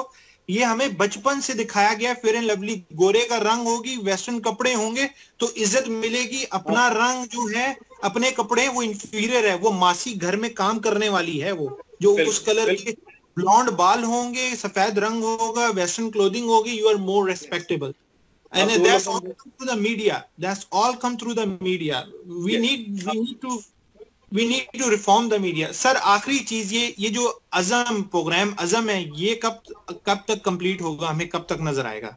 हम तकरीबन इसका जो प्लान पीरियड है वो तकरीबन दस साल है। इसको लॉन्च हाँ। कर दिया गया है। दस साल किया गया? इसको लॉन्च कर दिया गया है और इसने अब एक्सेलरेट होना है। ये डिपेंड करेगा कि हम कितनी तेज़ी से इसको पुश करते हैं। और ये एक अच्छा खासा कॉम्प्लेक्स काम है। क्योंकि हम वेंचर कर रहे हैं इनटू एंटायरली न्यू फ़ील्ड और ये वो फ़ील्ड है जिसको टॉप लेवल की नेशंस मसलन तीन कौमें हैं जिन्होंने अभी तक अडॉप्ट किया है। उसमें अमेरिका, रशिया और चाइना। ये है वो तीन कंट्रीज़ पाकिस्तान इसमें एंटर होने जा रहा है। और अब इसमें एंटर हम इंडिपेंडेंटली होना चाहते हैं। पहले हमने चीन की मदद ली थी तो जेफ सेवनटीन बना दिया। हम समझते हैं कि इस तजर्बे की बुनियाद पर हम खुद को आ, हमें खुद पे एतमाद आया है और इस एतमाद की बुनियाद पर बुनियाद पर इस तजर्बे की बुनियाद पर हमें एक तरह से कॉन्फिडेंस आया है कि जिसके तहत हम समझते हैं कि इस फ़ील्ड में हम जा सकते हैं। हमें बहुत एहतियात से काम लेना होगा। ये आर एन डी है। इसमें फेलियर्स भी होते हैं। इसमें कामयाबियाँ भी होती हैं। हमें घबराना भी नहीं चाहिए। मगर हमें मेहनत करनी चाहिए कि हमारे साथ वो ना हो जाए जो हिंदुस्तान में एलसीए के साथ हुआ था। हमें उसका एहसास सर ये प्रोग्राम स्टार्ट कब से हुआ है? पिछले दो साल से? ये इसकी जो यानी आप समझ लें कि जो बेसिक्स हैं वो तकरीबन इसको साल हो गया। जिसके तहत हमने जो इसका इंफ्रास्ट्रक्चर है उसको मुकम्मल करने के लिए काम शुरू कर रखा है। और मैं समझता हूँ कि इसमें हम बाकायदा आगे बढ़ रहे हैं। मगर आने वाले जो साल हैं जो टीम है जिसने इसको लेकर आगे चलना है और फिर जिन लोगों ने ज्वाइन करना है उनकी क्वालिफिकेशन और उनके बारे में मोहतात तरीके से चलना ताकि हम ऐसे फेलियर का शिकार ना हो जाएँ जैसे मैंने कहा कि हमारे हमसाए में वो शिकार हुआ और फाइनली वो फेल हो गया। जो आर एन डी में ये पब्लिक प्राइवेट और रिकवरी वो एक नॉर्मल प्रोसीजर है। मगर कोई ऐसा फेलियर ना हो कि जिसमें ऐसे बहुत बड़े प्रोजेक्ट को डंप करना पड़े वो ठीक नहीं सर ये पब्लिक प्राइवेट पार्टनरशिप है या ये only own by Pakistan air force no no no public private partnership मैंने शुरू में आपसे बात की थी कि हम पूरे मुल्क से ऐसे ऐसे लोग इकट्ठे किए हैं हमने और कर रहे हैं जिनको हम ज्वाइन करें। क्योंकि एयरफोर्स अलोन के पास इतने एसेट्स नहीं है कि हम उन्हीं पर डिपेंड करें। और दुनिया भर में आप देखिए कि जो इंडस्ट्री है वो तो पब्लिक प्राइवेट पार्टनरशिप के तहत बनती है। पाकिस्तान एक वाहिद बल्कि हमारे यहाँ जो जे एफ़ सेवनटीन में टीम बनी, ये तो एक बहुत ही यूनिक टीम बनी। यानी एक तरफ़ लोग जो थे वो यूनिफॉर्म में थे एयरफोर्स वाले, और दूसरी तरफ़ प्योरली एक सिविल ऑर्गेनाइजेशन थी कैटिक के नाम से। ये बहुत ही ऑड कॉम्बिनेशन थी। ऐसे नहीं होता। तो प्राइवेट पब्लिक पार्टनरशिप के थ्रू इंडस्ट्रीज़ और इंडस्ट्रियल स्ट्रेंथ उसको कायम करना और उसके थ्रू इसको लेकर चलना, वो है एक वे फॉरवर्ड इसीलिए मैंने कहा कि ये कॉम्प्लेक्स है। हम फ़र्स्ट टाइम इसके अंदर एंटर हो रहे हैं लिहाजा इसमें काफ़ी मेहनत की ज़रूरत है। सर डू यू थिंक ये लास्ट क्वेश्चन है मेरा डू यू थिंक कि हम लोग बोइंग की तरह कमर्शियल में भी आ जाएँगे फाइटर्स के बाद? हंड्रेड परसेंट आएँगे हंड्रेड परसेंट आएँगे। जब ये एक्सपर्टीज आप गेन करेंगे तो आपको कमर्शियल की तरफ़ क्यों नहीं आना चाहिए? आप चाइना को देख लें वो कमर्शियल में कितने बड़े तरीके से फिर घुस गए और आज उनकी जो ये फाइटर जहाजों की भी इंडस्ट्री है। मैं जाती तौर पर चूँकि बहुत वहाँ घूमा हूँ, वो तो कमर्शियल प्रोजेक्ट्स लेते हैं और मुख्तलिफ़ लेवल्स के प्रोजेक्ट्स लेते हैं। वो सिर्फ़ एविएशन के प्रोजेक्ट प्रोजेक्ट्स नहीं लेते। उनकी जो मशीनरी है, उनका उनका एफर्ट ये होता है कि वो मशीनरी कभी भी उसका आइडल टाइम ना हो, उसको इस्तेमाल किया जाए। तो लिहाजा कौम के अंदर जो तरक्की है, वो किसी भी फ़ील्ड में हो, वो उसमें कंट्रीब्यूट करते हैं। तो ये चलते चलते आहिस्ता आहिस्ता ये कल्चर हमारे पास आएगा। अभी तो हमें कॉन्सेंट्रेट करना है फिफ्थ जनरेशन एरोप्लेन जो मेन मकसद है, जो मेन ऑब्जेक्टिव है। उसको हमें मद्देनजर रखना चाहिए और साथ साथ जो जो आप आगे चलेंगे, इसके जो साइड बेनिफिट्स हैं, आपको ऑटोमेटिकली वो आपके सामने आते जाएँगे। सर, इंडिया भी बड़े तेज़ी से एरोस्पेस में आगे जा रहा है और रशिया सॉरी इंडिया जा रहा है और इसराइल ने अभी एक फेलियर फेल अटेम्प्ट की है। चाँद पे आई थिंक चाँद पे या कहीं जा रहे थे, वो फेल अटेम्प्ट हो गई। Where we stand right now in aerospace देखिए, आजकल ये जो एयर फोर्स है ना इसको फिर हम एयर पावर हम कहते थे, ये अब एरोस्पेस पावर है। अब आपने स्पेस को इंक्लूड कर लिया है। हमारा स्पेस की तरफ़ जाना इट इज़ इनएविटेबल नागजीर है, क्योंकि स्पेस एक बहुत ही इंपॉर्टेंट हिस्सा बन गया है आपकी एयर पावर का। अगर आप उधर नहीं जाएँगे तो आगे बहुत बड़ा एरिया जो है एयर पावर का, उसको अपनी पावर से एक्सक्लूड करने जा रहे हैं, जो कि आप अफोर्ड नहीं कर सकते। इंडिया बिल्कुल उसमें एंटर हुआ है। आपको इसमें एंटर होना चाहिए। हमने एक स्टार्ट इसमें लिया हुआ है स्पेस की तरफ़ भी, मगर उसमें हमें, जैसे हम फिफ्थ जनरेशन की तरफ़ तेज़ी से बढ़ रहे हैं, इसी तरह मैं समझता हूँ कि हमें स्पेस की तरफ़ जो रुख है, उसमें तेज़ी लाना पड़ेगी। क्योंकि स्पेस के बगैर जो फ्यूचर जनरेशन की आपकी पावर है वो एयर पावर मुकम्मल नहीं होती। इसीलिए अब हम इसको एरोस्पेस पावर का नाम देते हैं जिसके अंदर ये सारी चीज़ें इंक्लूड हों। तो पाकिस्तान को इसमें भी काफ़ी मेहनत की ज़रूरत है और हमें इसमें लॉन्च होना चाहिए। And and they all everything should be under air force umbrella जो आप लोग अजम प्रोग्राम के अंडर ही होगा। No not necessary everything should be under air force umbrella जब उसका मकसद जो है आइंदा चलते हुए उसका जो स्कोप है वो इतना वसी है तो आपको ये सब कुछ देखना पड़ेगा। ज्वाइंट फोर्सेस आपकी ज्वाइंट सर्विसेज़ की फिर आप बात करते हैं। जैसे हमने अपने न्यूक्लियर प्रोग्राम को हैंडल किया है, हमारे पास वो भी एक मॉडल है। तो इसलिए मैं समझता हूँ कि इसकी वक्त के साथ साथ बहस होगी कि इतना वसी जो काम आप करने जा रहे हैं ये इसके लिए कौन सा सेटअप होना चाहिए जिसको आप उसको इंचार्ज बनाएँ? ये बात की बात है। फ़िलहाल मेरे ख्याल में चूँकि एयरफोर्स ने ये लीड की ये सारी चीज़, हमें चलना चाहिए। एयरफोर्स के पास तजर्बा भी है जे एफ़ सेवनटीन का। उस तजर्बे को इस्तेमाल करते हुए इस प्रोग्राम को आगे लेकर चलना चाहिए।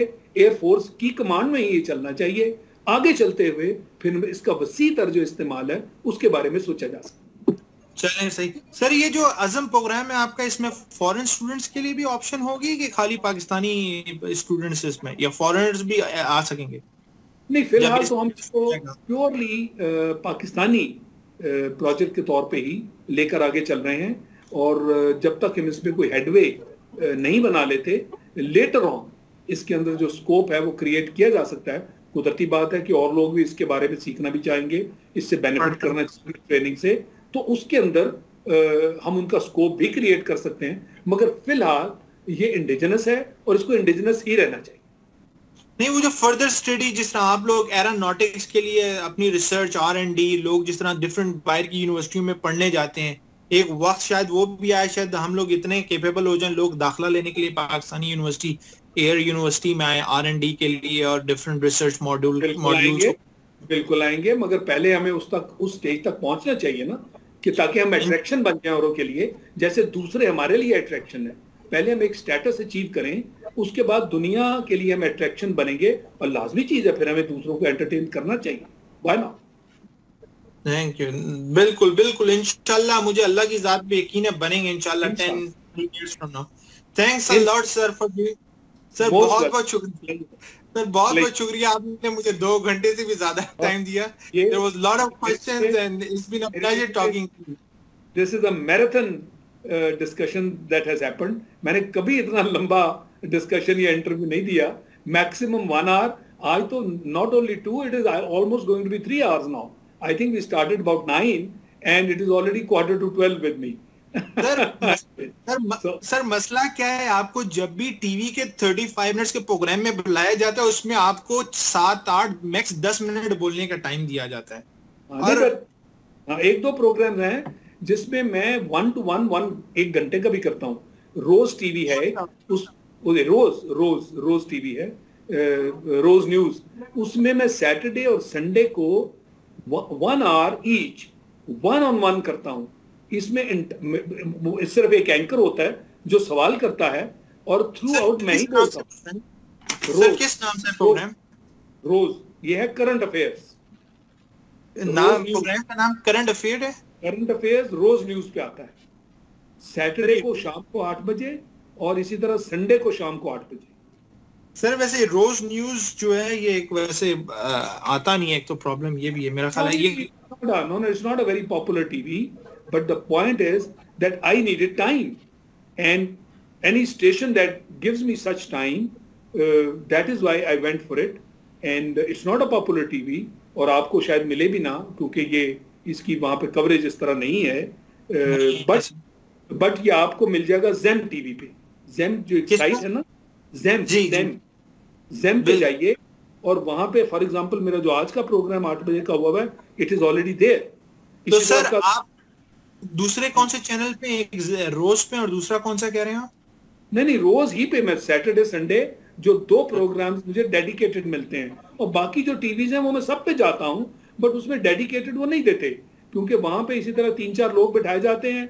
वो किसी को पाँच मिनट मिल गए किसी को दस मिनट मिल गए तो वो आपको इतने इतना टाइम नहीं मिलता कि आप खुलकर डिस्कशन कर सके। तो सर आप ये जो रोज टीवी पे सिर्फ़ करंट अफेयर के ऊपर बात कर रहे हैं राइट yes, मैं करंट अफेयर्स पे बात करता हूँ। सर आपको एक पॉलिटिशियन है उनका मुझे नाम भूल रहा है जिन्होंने इब्रारुल हक के अगेंस्ट नून लिख के उन्होंने कहा था अगर आपने इतनी ही डिफेंस एनालिस्ट के रूप में पॉलिटिकल एनालिसिस देने तो आप आके इलेक्शन लड़ रहे याद है आपको किसने कहा था? इन लोगों के पास और कोई नहीं होता। मुझे नाम भूल गया। कि कई हैं कोई राना सनाउल्ला तो पता नहीं अजीब अजीब नाम है। जो इब्रारुल हक के अगेंस्ट एहसन इकबाल एहसन इकबाल एहसन इकबाल ने कहा था आपके हाँ ही इज़ आल्सो देयर तो मेरी तो इन लोगों से वैसे ही नहीं बनती कि भाई तुम सब्जेक्ट मैटर पे बात करो कोई आर्गुमेंट दो कि मैं अगर कोई गलत बात कर रहा हूँ तो you should beat me in an argument ये क्या बात हुई कि आपको मैं पसंद नहीं? अगर मैं भाई हम जो डिफेंस के लोग हैं हम लोग इतनी स्टडीज़ करते हैं particularly when we reach the level of a three star हमारी you know across the board इतनी स्टडीज़ हो चुकी होती हैं कि I can discuss any subject with any specialist इस हद तक हमने ज़िंदगी में पढ़ा होता है। तो आप मेरे साथ बहस करें। बट डोंट से कि मैं क्योंकि डिफेंस का आदमी हूँ तो I can't talk about politics I can't talk about economy I can't talk about anything भाई ये मेरे मुल्क की चीज़ें हैं। Why should I not be able to talk about them sir, मैंने ब्रिगेडियर जावेद आईएसआई के थे, उनका मैं कुछ पढ़ रहा था, अगर आपको याद हो आईएसआई के ब्रिगेडियर जावेद साहब। Agents were tracking and you know chasing me all over the world and they wanted this programme to fail so it is by the grace of Allah almighty because all human beings are weak very weak that I remain safe and ultimately I was able to pull through that's it that is all that I would say चले बस sir मैं आ, मगर आप कह रहे हैं उसमें है उसके अंदर है आप कह रहे हैं। मतलब इसी तरह की बातें चल लिखी है ना स्पेसिफिक एपिसोड्स तो नहीं लिखी जाती। दे डोंट लुक नाइस कि कोई स्पेसिफिक किसी की एपिसोड आप लिखें। ये चीज़ें अच्छी नहीं लगती राइट अप में या मेरे मुँह से भी अच्छी नहीं लगती। Therefore I would going into such minute details. But in general I have told you that sir तो एक बात. सर अच्छी चले मैं मान लेता हूँ अच्छी नहीं लगती। मैं इंटरनेट देखूँ मैं यहाँ टीवी देखूँ एक दो मुल्कों की इंतहा की ग्लोरिफिकेशन है उनके स्पाई प्रोग्राम किया उन्होंने ये अनकवर कर लिया। आपने जानते होंगे किन मुल्कों की मैं बात करूँ? एक तो बहुत ही छोटा सा मुल्क है चार छह मिलियन का और एक और दूसरा मुल्क है। सारी वीडियोस भरी पड़ी हैं अपने स्पाई वालों की अपने ये एंड वो। वो तो पता नहीं पता नहीं होते भी हैं कि नहीं पूरा इंटरनेट और टीवी पे से बड़े बड़े चैनल्स उनको दिखा रहे होते हैं सारा time The point is that whatever you see on internet and TV, you think all of that is true? No, I don't believe it. But जो हमारे हीरोज के साथ हुआ या किया वो भी तो बाय थोड़ा बहुत तो आना चाहिए लोगों को एजुकेट करने के लिए बस वही वाली बात है कि वो स्टोरीज बना दी जाती हैं and and and I feel that one should not unnecessarily take the discussion uh, you know on such matters uh, one should remain focused हमें सब्सटेंस पे फोकस करना चाहिए आई एम मोर कीन on narrating the success of the story rather than the distractions in the story. Success is what gives you lessons and success is what motivates others. So let us Bas- stick to. That is what I Bas- like. Sir बहुत बहुत शुक्रिया मैं आपको